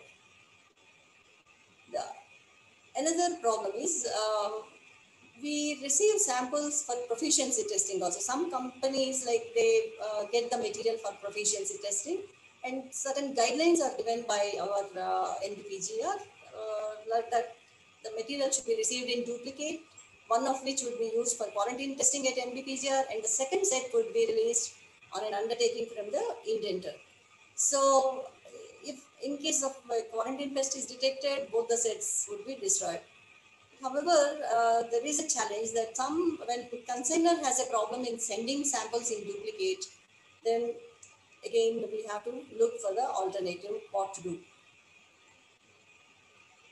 The other uh, challenges are repeated introduction of accessions. This is another major issue because the gene banks, uh, the proper uh, database should be maintained and the repeated introduction, the, the, resultant effect is the gene bank will be loaded with the duplicates, which is not uh, advisable. The import of multi-crop through single import permit. Uh, this is also a small error like uh, we, we have experienced recently. The multi-crop like uh, common bean, lima, lima bean and also cowpea were received with a single import permit so that is also some error and uh, the, before sending the material has to be checked thoroughly. And feedback from consignees. Uh, most of the consignees are uh, neglecting to give the feedback, which is not correct uh, because we have to, uh, as uh, the NBPGR also should come to know about the status of the material that's released then only like whether germination is hampered at our level or their level, everything will be possible to understand once feedback is received. Feedback on the performance of the accessions also is important. The samples received for trial purpose. Here again uh, for uh, agronomic trials or multi-location trials, the phytosanitary problem arises because once the material is uh, sent to different locations, the original uh, material is being sent to different locations, then problem occurs. You will have to conduct inspection at three locations or four locations. And similarly, agronomic trials, like you receive uh, in bulk quantities and uh, without uh, the designated inspection authority should be able to conduct the post-entry quarantine inspection before uh, releasing it the, some more challenges I have mentioned, uh, lack of uh, crop-wise list of quarantine pests and regulated non-quarantine pests for all the countries. This becomes a major issue. Uh, though uh, in the import permit, uh, we don't see any additional declaration, but sometimes some pathogens which are uh, very common in, in a particular country, maybe they are quarantine pests in the other country. So uh, we have to take care of the uh, interests of other countries also before sending the material. So for that sake, like if uh, these lists are, should be made available online through single window system, preferably on IPPC website. So the, the other one is diagnostic techniques and treatment protocols for specific pathogens should be made available online through single window system. Uh, this is also because research on prioritized pathogens in collaborative project mode is the only solution and uh, the transparency should be maintained because if they uh, to develop diagnostic techniques it takes a lot of time the depletion of strength of experienced plant protection personnel it's a common problem faced by many countries so the training should be uh, part and parcel of our, uh, our routine uh, jobs. The globally renowned organizations should uh, really come forward to provide training. Uh, this, uh, my colleague Dr. Celia has uh, published a paper, wonderful paper, in which uh, she has mentioned about the uh, challenges in plant virus disease diagnosis. So these are also important. Pest risk analysis is mandatory if you are going to import new commodity. And after import also, the techniques have to be followed for which you need to have different protocols and uh, PCR based uh, protocols are required. And uh, sample size mostly for research purpose sample we receive in very less quantities. So that becomes a hindrance for effective testing also. And for the detection of unknown or exotic virus uh, again antisera is a big problem and even sequences uh, database is required on sequences of viruses and primers there is an urgency normally for clearance of the sample, but uh, once you will have, you, you grow the material in PEQ greenhouses. So some, for example, in case of legumes, you need to grow them for full uh, one season. And uh, if there is an urgency, then it will be difficult. So non-destructive testing is very ideal. Only in groundnut, uh, one of our former colleagues, uh, late Dr. R.D. Vijay Prasad Rao sir, he has developed a technique for uh, detecting virus, the peanut stripe virus and uh, the other seed-borne viruses of groundnut in by non-destructive seed ELISA. So such type of uh, techniques should be developed. Maintaining gene banks free from exotic viruses, this is also very important. And uh, this is, I think, final slide, a strategy for future. These are all important upgradation of level of standards within each country, especially I am talking about India. The building up of uh, scientific evidence to counter unreasonable SPS measures. Suitable checkpoints while conserving the germplasm in the gene bank to tackle the issue of admixtures, lack of germination and health condition of seed. Examine uh, WTO compatibility of health and sanitary regulations and product, product standards. And there should be close coordination between the uh, persons, exporters, and also the government. There is a need for uh, framing standards for manufacturers also, production units, uh, monitoring contaminant sampling procedures and entities. This is mainly for commercial consignments. Thank you. Thank you, Dr. Anita, for a very comprehensive and excellent presentation. Uh, I, I would like to acknowledge the help uh, taken from my colleagues, Dr. Uh, Prasanna Holajjer and Dr. Uh, Parameshwari and also Dr. Abraham. So uh, my thanks to all of them. Thank, thank you very much. Uh, uh, we are running sh- uh, short of time, so I'll, I'll uh, you know, I'll move on to my next uh, presenter. Um, the next presentation is from uh, Dr. Gururaj from IRRI. So he is the GHU head at IRRI. Yeah. So Guru, Guru has a PhD and, uh, in entomology from C, CSHU, Hisar, India, and PhD, PhD diploma in intellectual property rights. Dr. Kulkarni has rich experience of working in Bayer Crop Science and Syngenta. In 2016, he joined IRRI as head of research infrastructure operation and has responsibilities such as transgenic stewardship, seed health unit, research infrastructure, research operations, research safety, and in 2020, additional responsibility of new initiative at IRRI called Bio Innovation Center director was given to him. So Guru will speak on safe exchange of rice germplasm by IRRI Seed Health Unit. Uh, Dr. Guru, 10 minutes, please, for your presentation.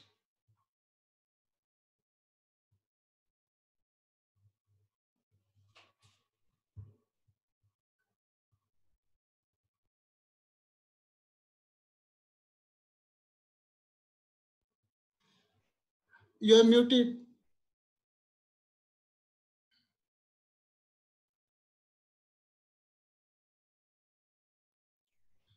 Please. uh, Hope I'm audible. Yes, please. Oh, oh, sorry for that. And uh, Thank you, Rajan, uh, for the introduction and uh, uh, uh, welcome to all the participants uh, uh, here in the online session as well as other uh, social media platforms.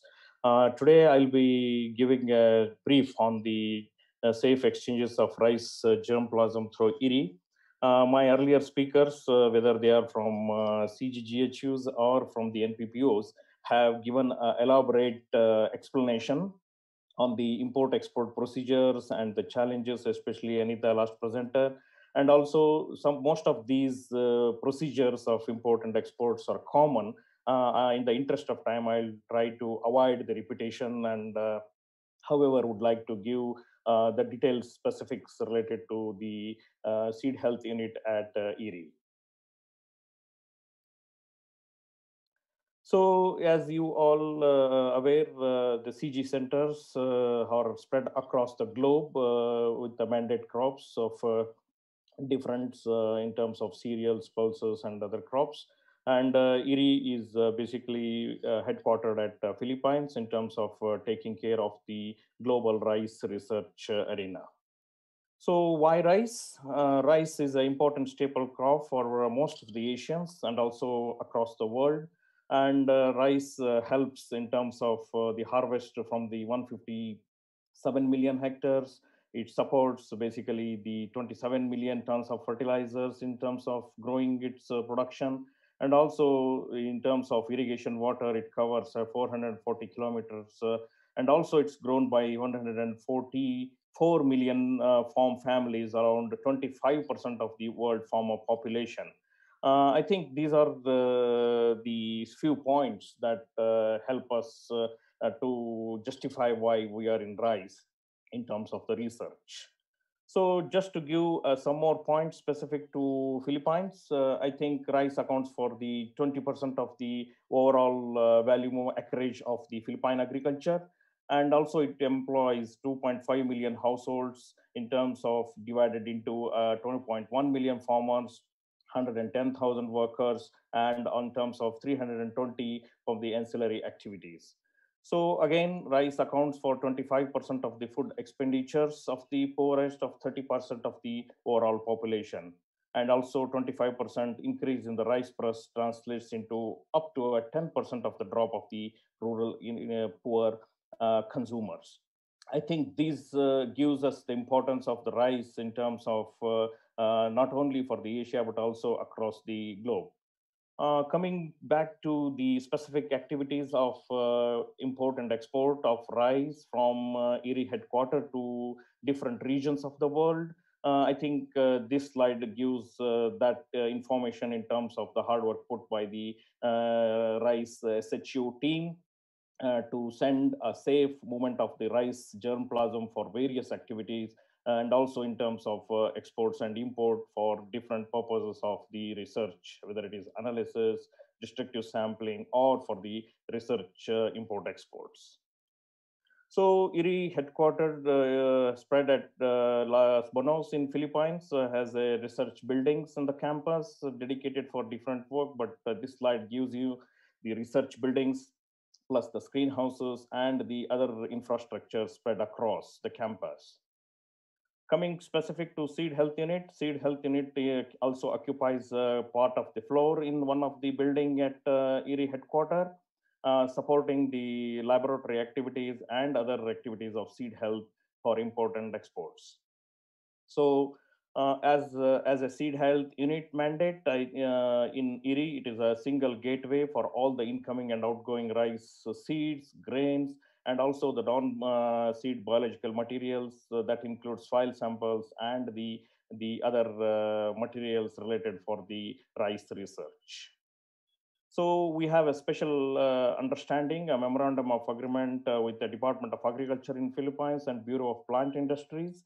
Uh, basically, that uh, helps uh, the, the faster actions in terms of uh, the testing that is required for the safe rice import and export.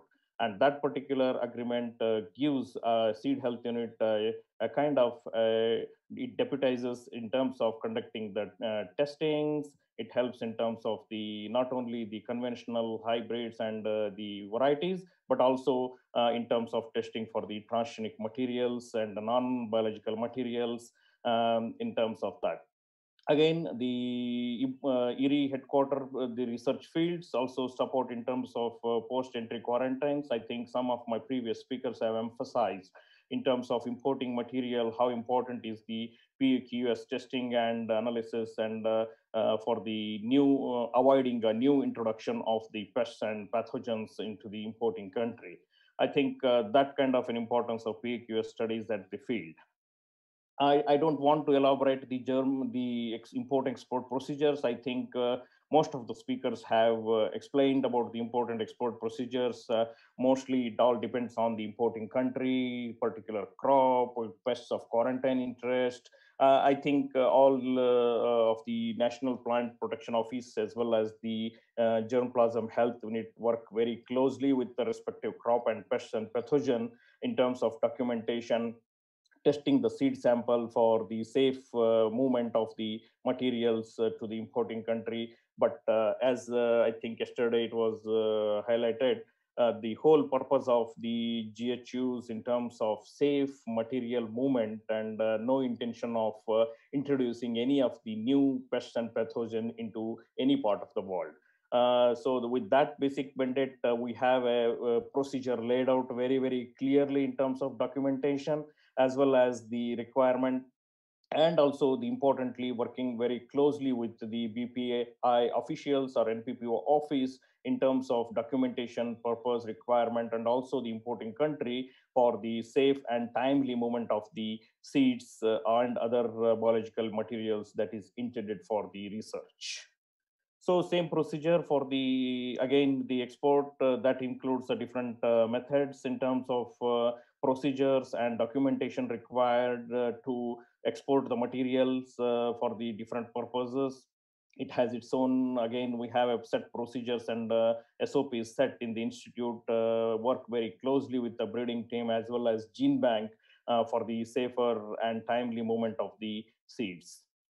So some of the successes, uh, I think uh, Seed Health Unit got an award for best research support in 2017. Uh, we have a very good uh, coordination with uh, the local NPPO uh, based at Los Banos as well as um, headquartered in Manila. We, we have basically periodical meetings uh, with uh, the team of the experts from both the side in terms of uh, understanding the new developments as well as the current happenings in the field of phytosanitary certification. they were all very, very coordinatedly, transparently discussed and exchanged. Uh, and in terms of uh, capability, again, I think some of my earlier speaker mentioned uh, one of the key aspect of seed health unit is capability enhancement for the developing country uh, who are in the process of developing the seed testing methods as well as the whole of the seed uh, uh, inspection um, and producing or seed production aspects in their country. I would like to quote uh, the Cambodia uh, team, uh, the agriculture minister visited the headquarters and then later the delegation of the agriculture officials, they came and took a two weeks training to enhance their uh, knowledge on the seed production, seed quality inspection, as well as the health testing. So same way for Myanmar and other developing countries, we are helping in terms of uh, trainings and diagnostic uh, methods that are adopted or used in the uh, rice uh, different pests and pathogens. Uh, I think the another one quality management system, the again the QMS as well as ISO standards, apart from the global standards like ISTA, are very well adopted in um, seed health unit at uh, IRRI. And uh, also as a continuous process, we will be improving the procedures as well as the, the SOPs, COPs, and work instructions for the betterment uh, in terms of the better efficiency and also the turnaround time uh, as as it is very very important that uh, the the rice season coincides uh, everybody is coming rushing in terms of the movement to catch up the seasons. I think that peak period uh, of the year is uh, very, very important how we support the clients, basically our uh, breeding team and gene bank for the timely testing as well as the import-export procedural support. Uh, and also uh, to do this, to facilitate that, we also trying to uh, adopt the advanced planning of the activities and efficiencies in terms of knowing in advance uh, how many quantities and which countries we are sending definitely helps to allocate the resources uh, for the timely support for the different importing or exporting groups in the rice research. Uh, I think uh, again, uh, in terms of the training and documentation required for import and export, the seed health unit always very well coordinate with the breeding team internally in the institute so that the right uh, documentation is submitted for the import and export requirements. So again, uh, my previous speaker, Dr. Anita, has explained very, very elaborately on the challenges, but some of the challenges uh, I would like to focus internally into the into the institute. Uh, as I earlier mentioning, the more sample, the congregation of the samples uh, in terms of uh, the season that happens in the peaks of two uh, seasons in this in the seed health unit uh, basically we want to avoid those last minute rushes. That's how we are trying to adopt uh, a remedial situation to uh, have a better planning for the researchers. And um, also we lack uh, one collaborative tool in terms of capturing the uh, material uh, testings in the in the seed health unit. And we are trying to work with uh, breeding for rice. It's a tool used by the breeders in the institute for mapping all their crossings and uh, material movements, traits, trying to link that with seed health testing and other methods so that in the whole of the one uh, tool will be able to capture the the seed movements and as well as the different uh, diagnostic methods that are being followed in the uh, testing of the samples in the seed health and uh, also we are trying to when we are talking periodically with the researchers we are proactively asking them what is coming up in the few months next month so that there will be a planned submission of samples and terms of uh, that will help uh, the seed health to allocate uh, uh, the resources properly in terms of uh, the priority sample submissions and movements and also we are trying to support uh, the the documentation uh, more comprehensively more correctly that is required especially in the in the exports. Basically the importing country has different requirement uh, for the quarantine pests of interest as well as the other diagnostic methods. We would like to understand that very well in documentation requirements so that uh, it will be helpful in terms of the complete documentation so we are working also the infrastructure enhancements uh, in terms of uh, uh, the capability enhancements as well in the seed health to address the peak uh, season uh, sample testing. So I don't, I will not be elaborately explaining the procedure. I think the procedures have been explained earlier well, but I would like to highlight uh, the rice uh, also follows the common testing principles like uh, seed receptions and visual inspection, the routine seed health testing, whether it is a blotter test, nematode, or macro testing, and we also follow the seed treatment and san- the sanitation as necessary in terms of uh, fumigation, hot water treatment, especially for nematodes, and slurry treatment and sodium hypochlorite treatments and SMTA, the material transfer agreements, standards, and uh, specific uh, material transfer agreements are generated and attached as a procedural requirement for each uh, uh consignment. And phytosanitary certification, again, uh, we have an understanding with the BAPI official who will be visiting once in a week based on the requirement in terms of checking the testing procedures as well as the signatory that is required of the uh, certification procedures.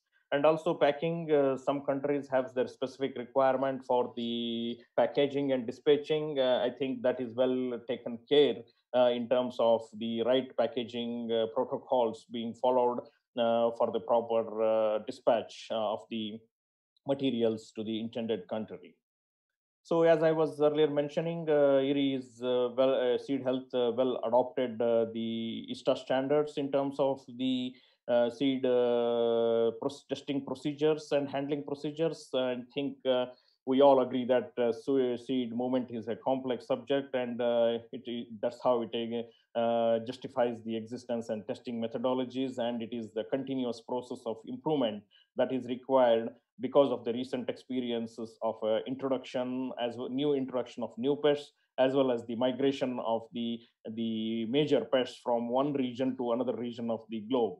Uh, I think some of these uh, are helping uh, us, are giving us a challenge in terms of uh, uh, adopting new methods of testing, new methods of evaluations, and more careful in terms of the material movements from one country to another country in in the in the quarantine status, pest testings, etc and uh, also uh, the the always the we take help of uh, ISTA platforms and other uh, platforms uh, to uh, develop the new diagnostic procedures or testing methodologies to enhance some of these standards with the existing procedures so that we we meet that the evolving challenges posed by the the pest and pathogen in terms of geographical movement and minor pest becoming a major etc so we are trying to enhance uh, the uh, capacity in terms of uh, enhancements for testing as well as the capability for the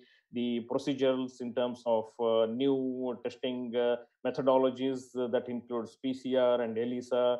And uh, also uh, the, the emphasis is uh, the minimizing the turnaround time for the sample testing, especially as I was mentioning earlier on the peak seasons. So th this is an example where uh, we map all the SOPs into a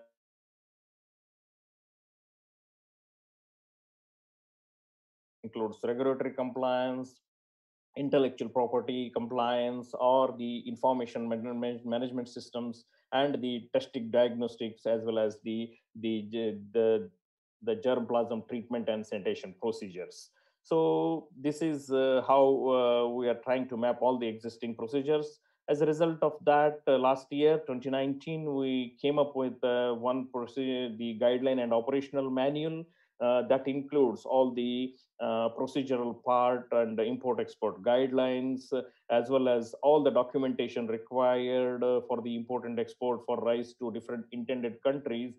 this is not only helpful for the researchers within the institute, but also the consortium members, whether it is a hybrid rice consortium, direct seed rice consortium, or the Bio Innovation Center members.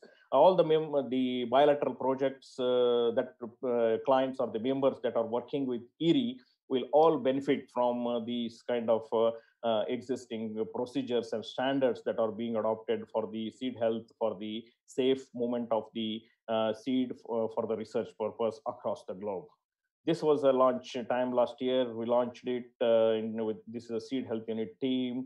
Uh, and some of the initiatives, again, uh, as I was earlier explaining, the Cambodian agriculture minister with the delegation visited the seed health unit and understood, and he was uh, well impressed. And then when he sent back uh, uh, when he uh, went back, he sent a group of the agricultural inspectors as the Cambodian uh, government is implementing the new standard seed policy, which includes the production, inspection, as well as testing methodologies uh, for the Cambodia. And also, as I was earlier mentioning, the, the NPPO office, we very closely work with the NPPO uh, officials uh, for the uh, periodical time in terms of exchanging the, the updates from both the sides in terms of smooth functioning between the two organizations. So again, uh, the Volom company, uh, like uh, Cambodian government delegation, a lot of other private company representatives. in this case, it's a Volom company from Africa. They visited IRRI and took a two weeks training on different aspects of um, rice growing, production, uh, testing, and other breeding aspects uh, of the rice. And they were also trained one day in the seed health unit in terms of uh, diagnostic testing, identification of pests and pathogens, etc the field training is also very very important in terms of the the post entry quarantine as we discussed earlier again the field trainings and uh, on hand job trainings are given to the trainers so, so that they will well uh, understand and equipped with the knowledge in terms of identifying the major pests and minor pests uh, for the crop. Uh, also, we are trying to update the, the seed health brochure for the visitors so that uh, the seed health unit importance and seed health unit um, uh, the, the, the overall establishment and procedures will give them a confidence that the material that is coming from the institute are safe as well as uh, from free from all the major pests and pathogens uh, in their country. And uh, this is the, the example for that. So coming back to this year, COVID situation, it posed, uh, as initially Safa was mentioning, good and bad things of COVID, uh, and it made us to learn so many new things, new ways of working, new normal life. I think some of um, uh, regular challenges that posed by this pandemic uh, includes uh, we are not uh, going to our workplace to work. We, can, we are very restricted to go to the fields. And uh, all these basically posed an institute working with a very minimum skeleton staff, minimum research project at the headquarters.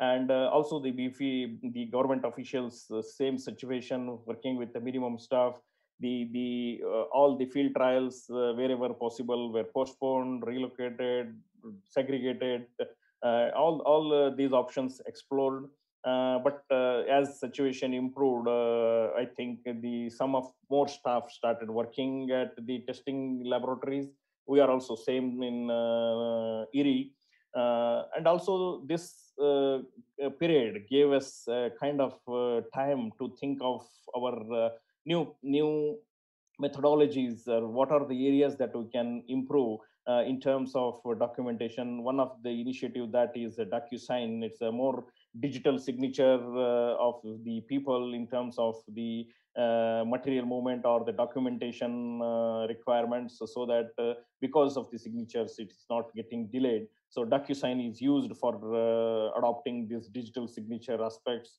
And also the uh, basically, the another one is the seed tracker initiative. I think uh, the testing and timely to timely as per the season is very very crucial uh, to avoid a missing of the season by the imported or exported material.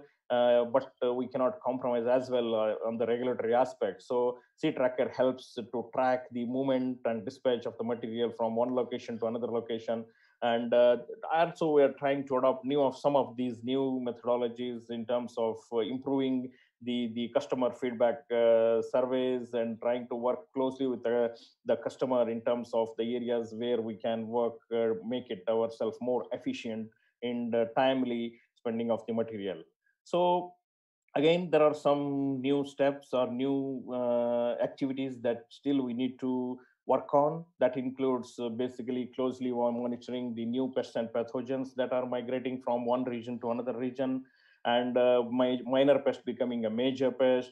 And uh, in terms of all the, these, uh, the testing methodologies, how fast and how efficient we need to be uh, in terms of testing for the new pathogens, minor becoming major, all is being worked out in terms of uh, the, the efficiency so of course, NPPOs are the final authority for the import and exports uh, for any given country.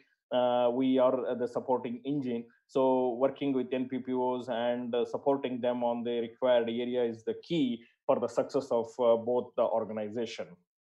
And also basically the regional coordination, uh, can we uh, broadly agree between the countries in the, in the region as a one method or one uh, procedure in terms of uh, documentation requirement and declaring the quarantine pests of importance, etc. Wherever possible, uh, that will reduce the duplication of the work at each country. Uh, is again another another area where we try to simplify the the import and export procedures uh, across the region or the areas of uh, common geographical spread in terms of soil texture crops grown as well as the pest status uh, that is also uh, being uh, we can think of. The again the international regulation compliance in terms of uh, broader approvals in terms and working very closely with the international organizations are the few of the uh, initiatives that we can keep live so that uh, we are all in the same page and we are working for the same mission and across globally across the crops in terms of uh, safely exchanging the materials without introduction of any of the new pests in the, in the given country. Thank you very much. I would like to acknowledge the team of Seed Health Unit at IRRI, uh, who are putting uh, an efforts in terms of uh, testing as well as different procedures that are being adopted for the safe germplasm exchange of rice across the globe. Thank you very much. Thank you, Guru, for nice presentation and providing update on uh, IRRI GHU. Uh, I request everyone to stay for another 30 minutes for the final presentation. Uh, our, our final presentation in the Asia session is from Ms. Ellen Tendong Molon, who is Officer in charge Bureau of Plant Industry BPI, National Plant Quarantine Service Division, the Philippines. She is Bachelor of Science in Agriculture, major in agronomy from University of Philippines, Los Baños, and Master of Science in Agriculture with major in crop protection. Ms. Ellen conducts pest risk analysis of imported products involved in the SPS-related activities of NPQSD and design and facilitates capacity building activities of NPQSD. Title of, title of her presentation is Overview of the National Plant Quarantine Services Division. Ms. Ellen, please share the screen for your presentation. Yeah, you are live. Okay, do you see the screen? Yes, yes, I could see. Yes. Please, Okay. please go ahead. So, good afternoon, everyone. Um, I will be presenting the overview of the National Plant Quarantine Services Division of the Bureau of Plant Industry, Philippines. So,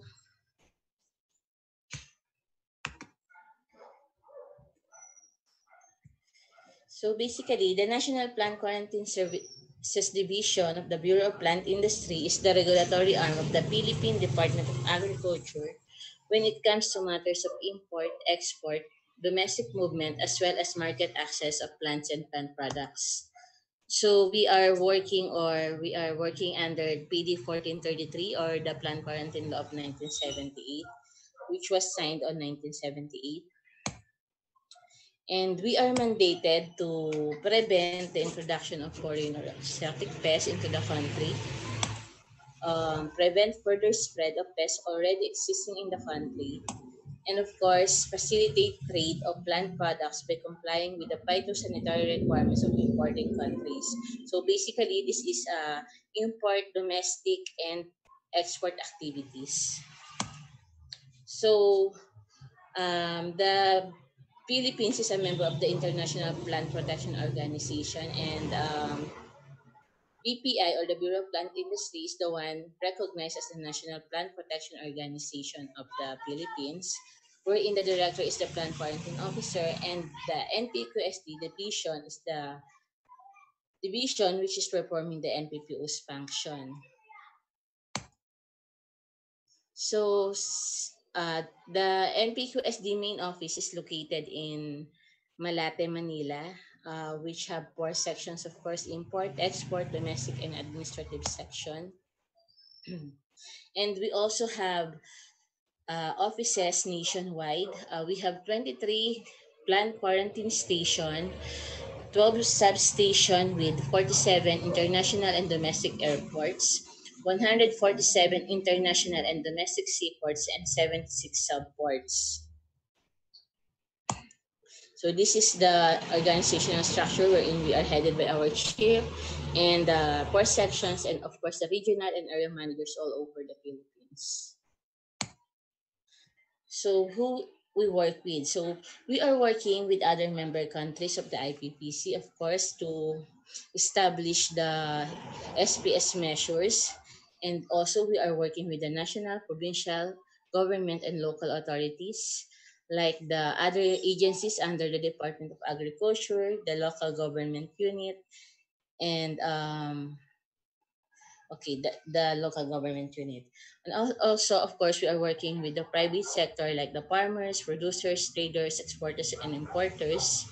Uh, and um, um, this is uh, when with regards to we are working with exporters uh, if ever they are um, willing to export uh, plant products with other countries and also if we need uh, information with regards to SPS practices.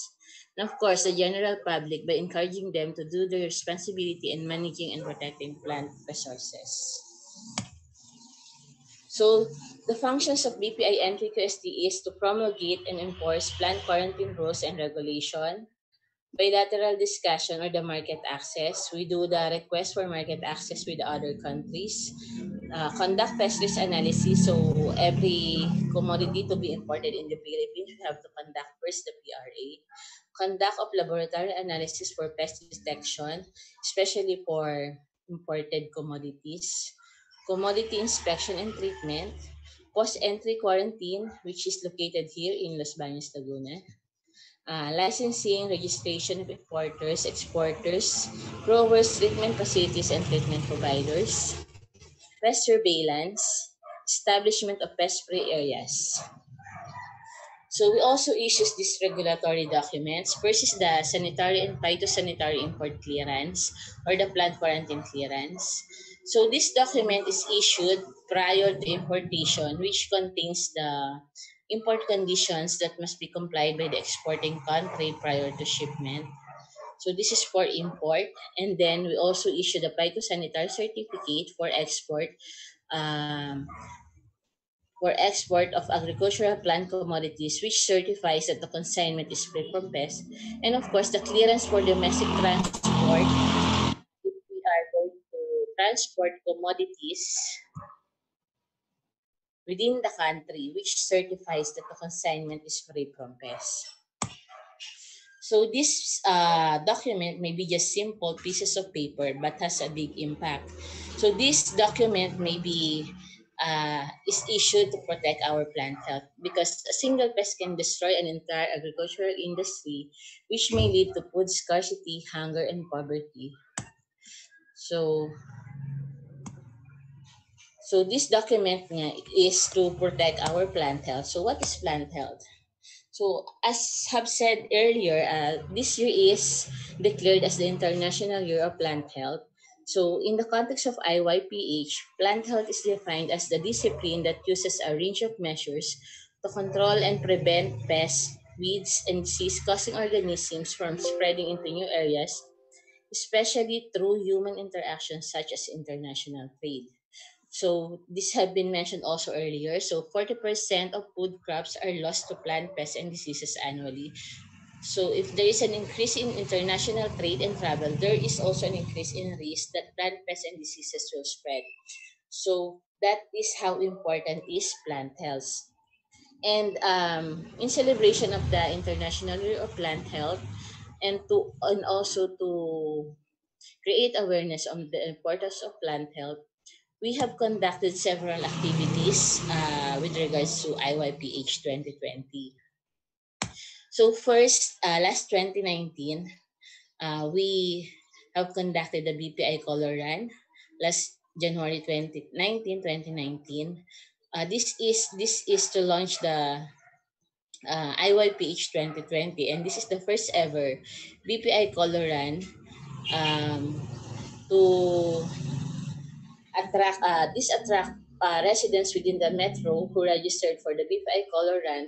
And also this is a good way to create awareness on the importance of plant health. Next, we have conducted the BPI Plant Health Summit.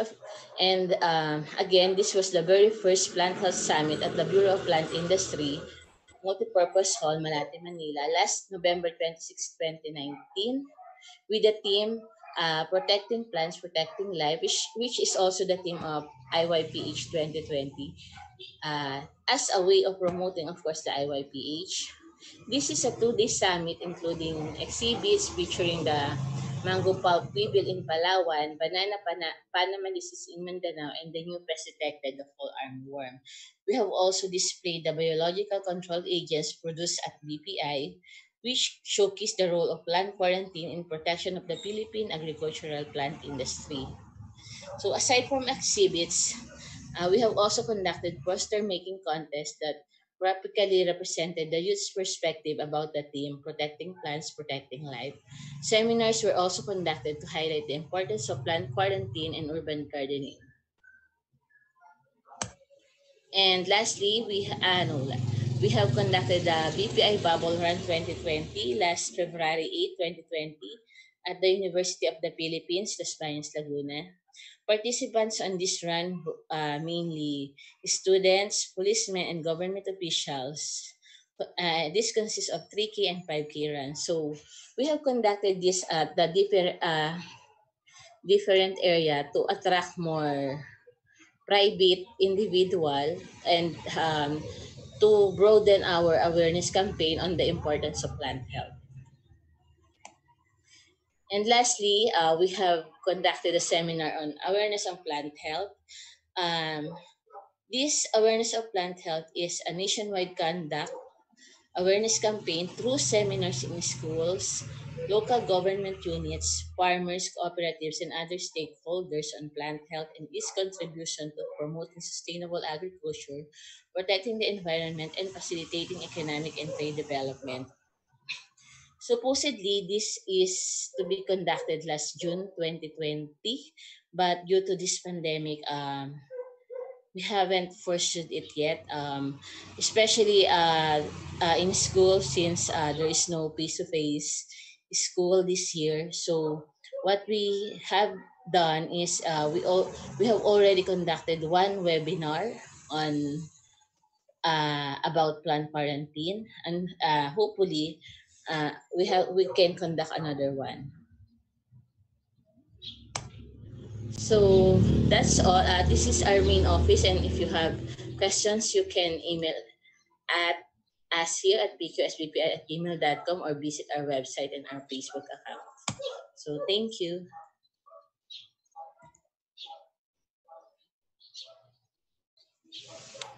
Thank you, Ms. Ellen, for your nice presentation. Uh, I'd like to welcome Dr. Jean Gerard, Director of Inter-African Phytosanitary Council to uh, Asia session, and I invite him for his remarks. Dr. Jean, please.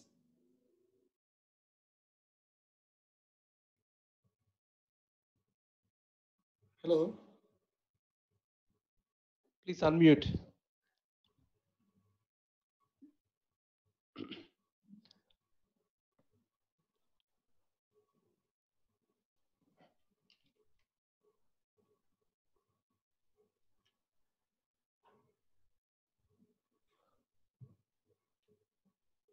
He's on mute. Uh, Dr. Jean Gerard, please unmute.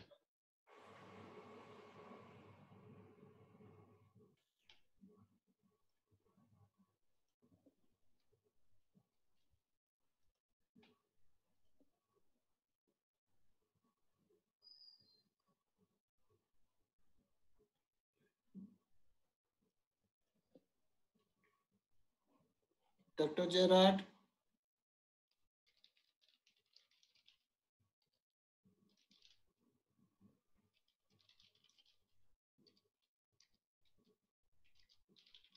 Good morning. Good morning. Good morning. I apologize because uh, uh, I joined the meeting last, uh, just today. Yes, we can hear you. Yeah, uh, Dr. Lava Kumar asked me to present uh, the opening remark.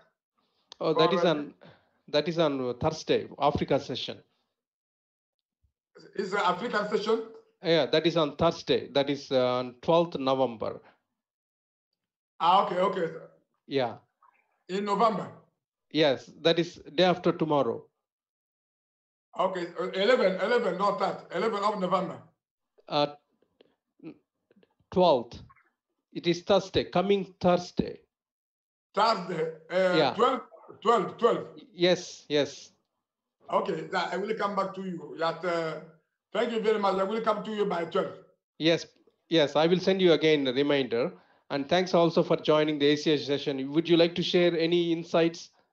No, no, no, no. Just to to to to to to congratulate your organization to join the African Union because uh, I received the message, but we are we face with uh, some internal problem.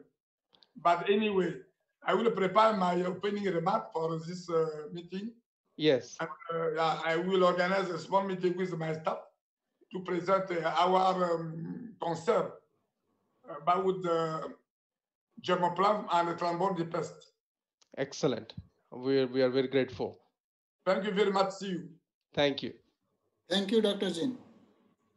Uh, once again, I'd like to thank all the speakers for very informative presentations.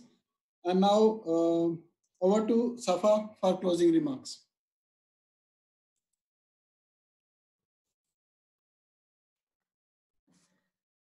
Thank you very much uh, for all speakers for very nice presentation, for very nice overview or recent de- and recent development and challenge uh, for the GHU. Uh, we we learned a lot today about the, role of the GHU in ensuring the germoplasm germoplasm phytosanitary uh, safety. In addition, uh, uh, I can say how it's important the en- engagement or the work in collaboration with our uh, NPPO and other international. This very important to work together, uh, CG centers, national and global phytosanitary commu- community to uh, prevent the spread of the CD quarantine uh, pest. And uh, uh, really, it's. Uh, I would like to thanks all for this information and for especially for the from our NPPO staff because without them we cannot uh, do anything. We cannot spread our uh, our seeds. We cannot receive any uh, shipment from outside. Many thanks for their help, uh, for their support. Uh, uh, for our uh, centers. And before we close, uh, I think if uh, there is any questions from the participant, we have only four minutes. If anybody, because we received a- few uh, questions through chat, and um, I think all of them already answered. But if any questions are not answered, of somebody uh, would like to raise any question now, still we can give you one minute or two minutes. I'm very happy to see this number this uh, morning because I think uh, more than 60 participants they join us, maybe more, because the number of the participant uh, over 50 all the time. Some uh, participant join, others left, but still the numbers is high, over 50. Or on the uh, YouTube we have around 16, 17 participants, which is excellent uh, number. Uh, I'm happy to see participant. If anybody have questions? It seems everything's clear for the participant. Lava, would you like to add anything? Yeah, thank you. Thank you, Safa. I appreciate all the speakers. I mean, fantastic presentations, very rich in detail, very clearly explained the process that uh, taken within the GHUs to ensure the seed are healthy and also the linkages between the national quarantine authorities and the role, the vital role they play in supporting the CG mission. This is fantastic. So I congratulate all the presenters and also thank our national program partners for excellent support they are giving to CG programs. Um, without your support, we were not able to deliver what we have been delivering all this year. So we count on your support in the future as well. And we'll be very happy to listen and learn and walk along with you to make sure that we are together in this process of delivering safe and clean seed without pests and diseases. And uh, I just take opportunity to again to invite all the participants to tomorrow's session, which is on the Latin America, which is focused on the Latin American issues, uh, which is a bit late in the day because they are doing it in the morning of the Latin American time. So, so this session is going to be delivered by the speakers from CIP, CIMMYT, and CIAT, which are based in Mexico, Colombia, and Peru. So please do join to understand a bit more about what is happening in the Latin America. On Thursday, the issues will be focused on Africa, and the timing for that is also different. It's all available in the notice that has been circulated. Please do join. Thank you very much. Okay. Really, it was uh, a wonderful day. Uh, well spent listening to the great speakers. A great day to at least to uh, wake up from our just to leave the Corona or COVID-19 little bit and uh, uh, back to our normal uh, life because we missed this activity a lot during last few uh, few months. Uh, really, I enjoy this activity and hoping to get uh, more such opportu- opportunity in the future. And will join Latin America Day and Africa Day. And many thanks for all uh, participants, speakers, and have a nice day, evening, and morning based on your uh, located place. Uh, and see you, inshallah, soon. Okay, Rajan, this uh, floor back to you. thank you, Safa, for the nice words. Have one minute. Thank you very much. Yeah, once again, I thank all the participants for joining us. Thank you very much. Yeah, Okay, well done, bye-bye. Rajan. Well done, Rajan. Thank Very you. good, very good organization. Thank you very much.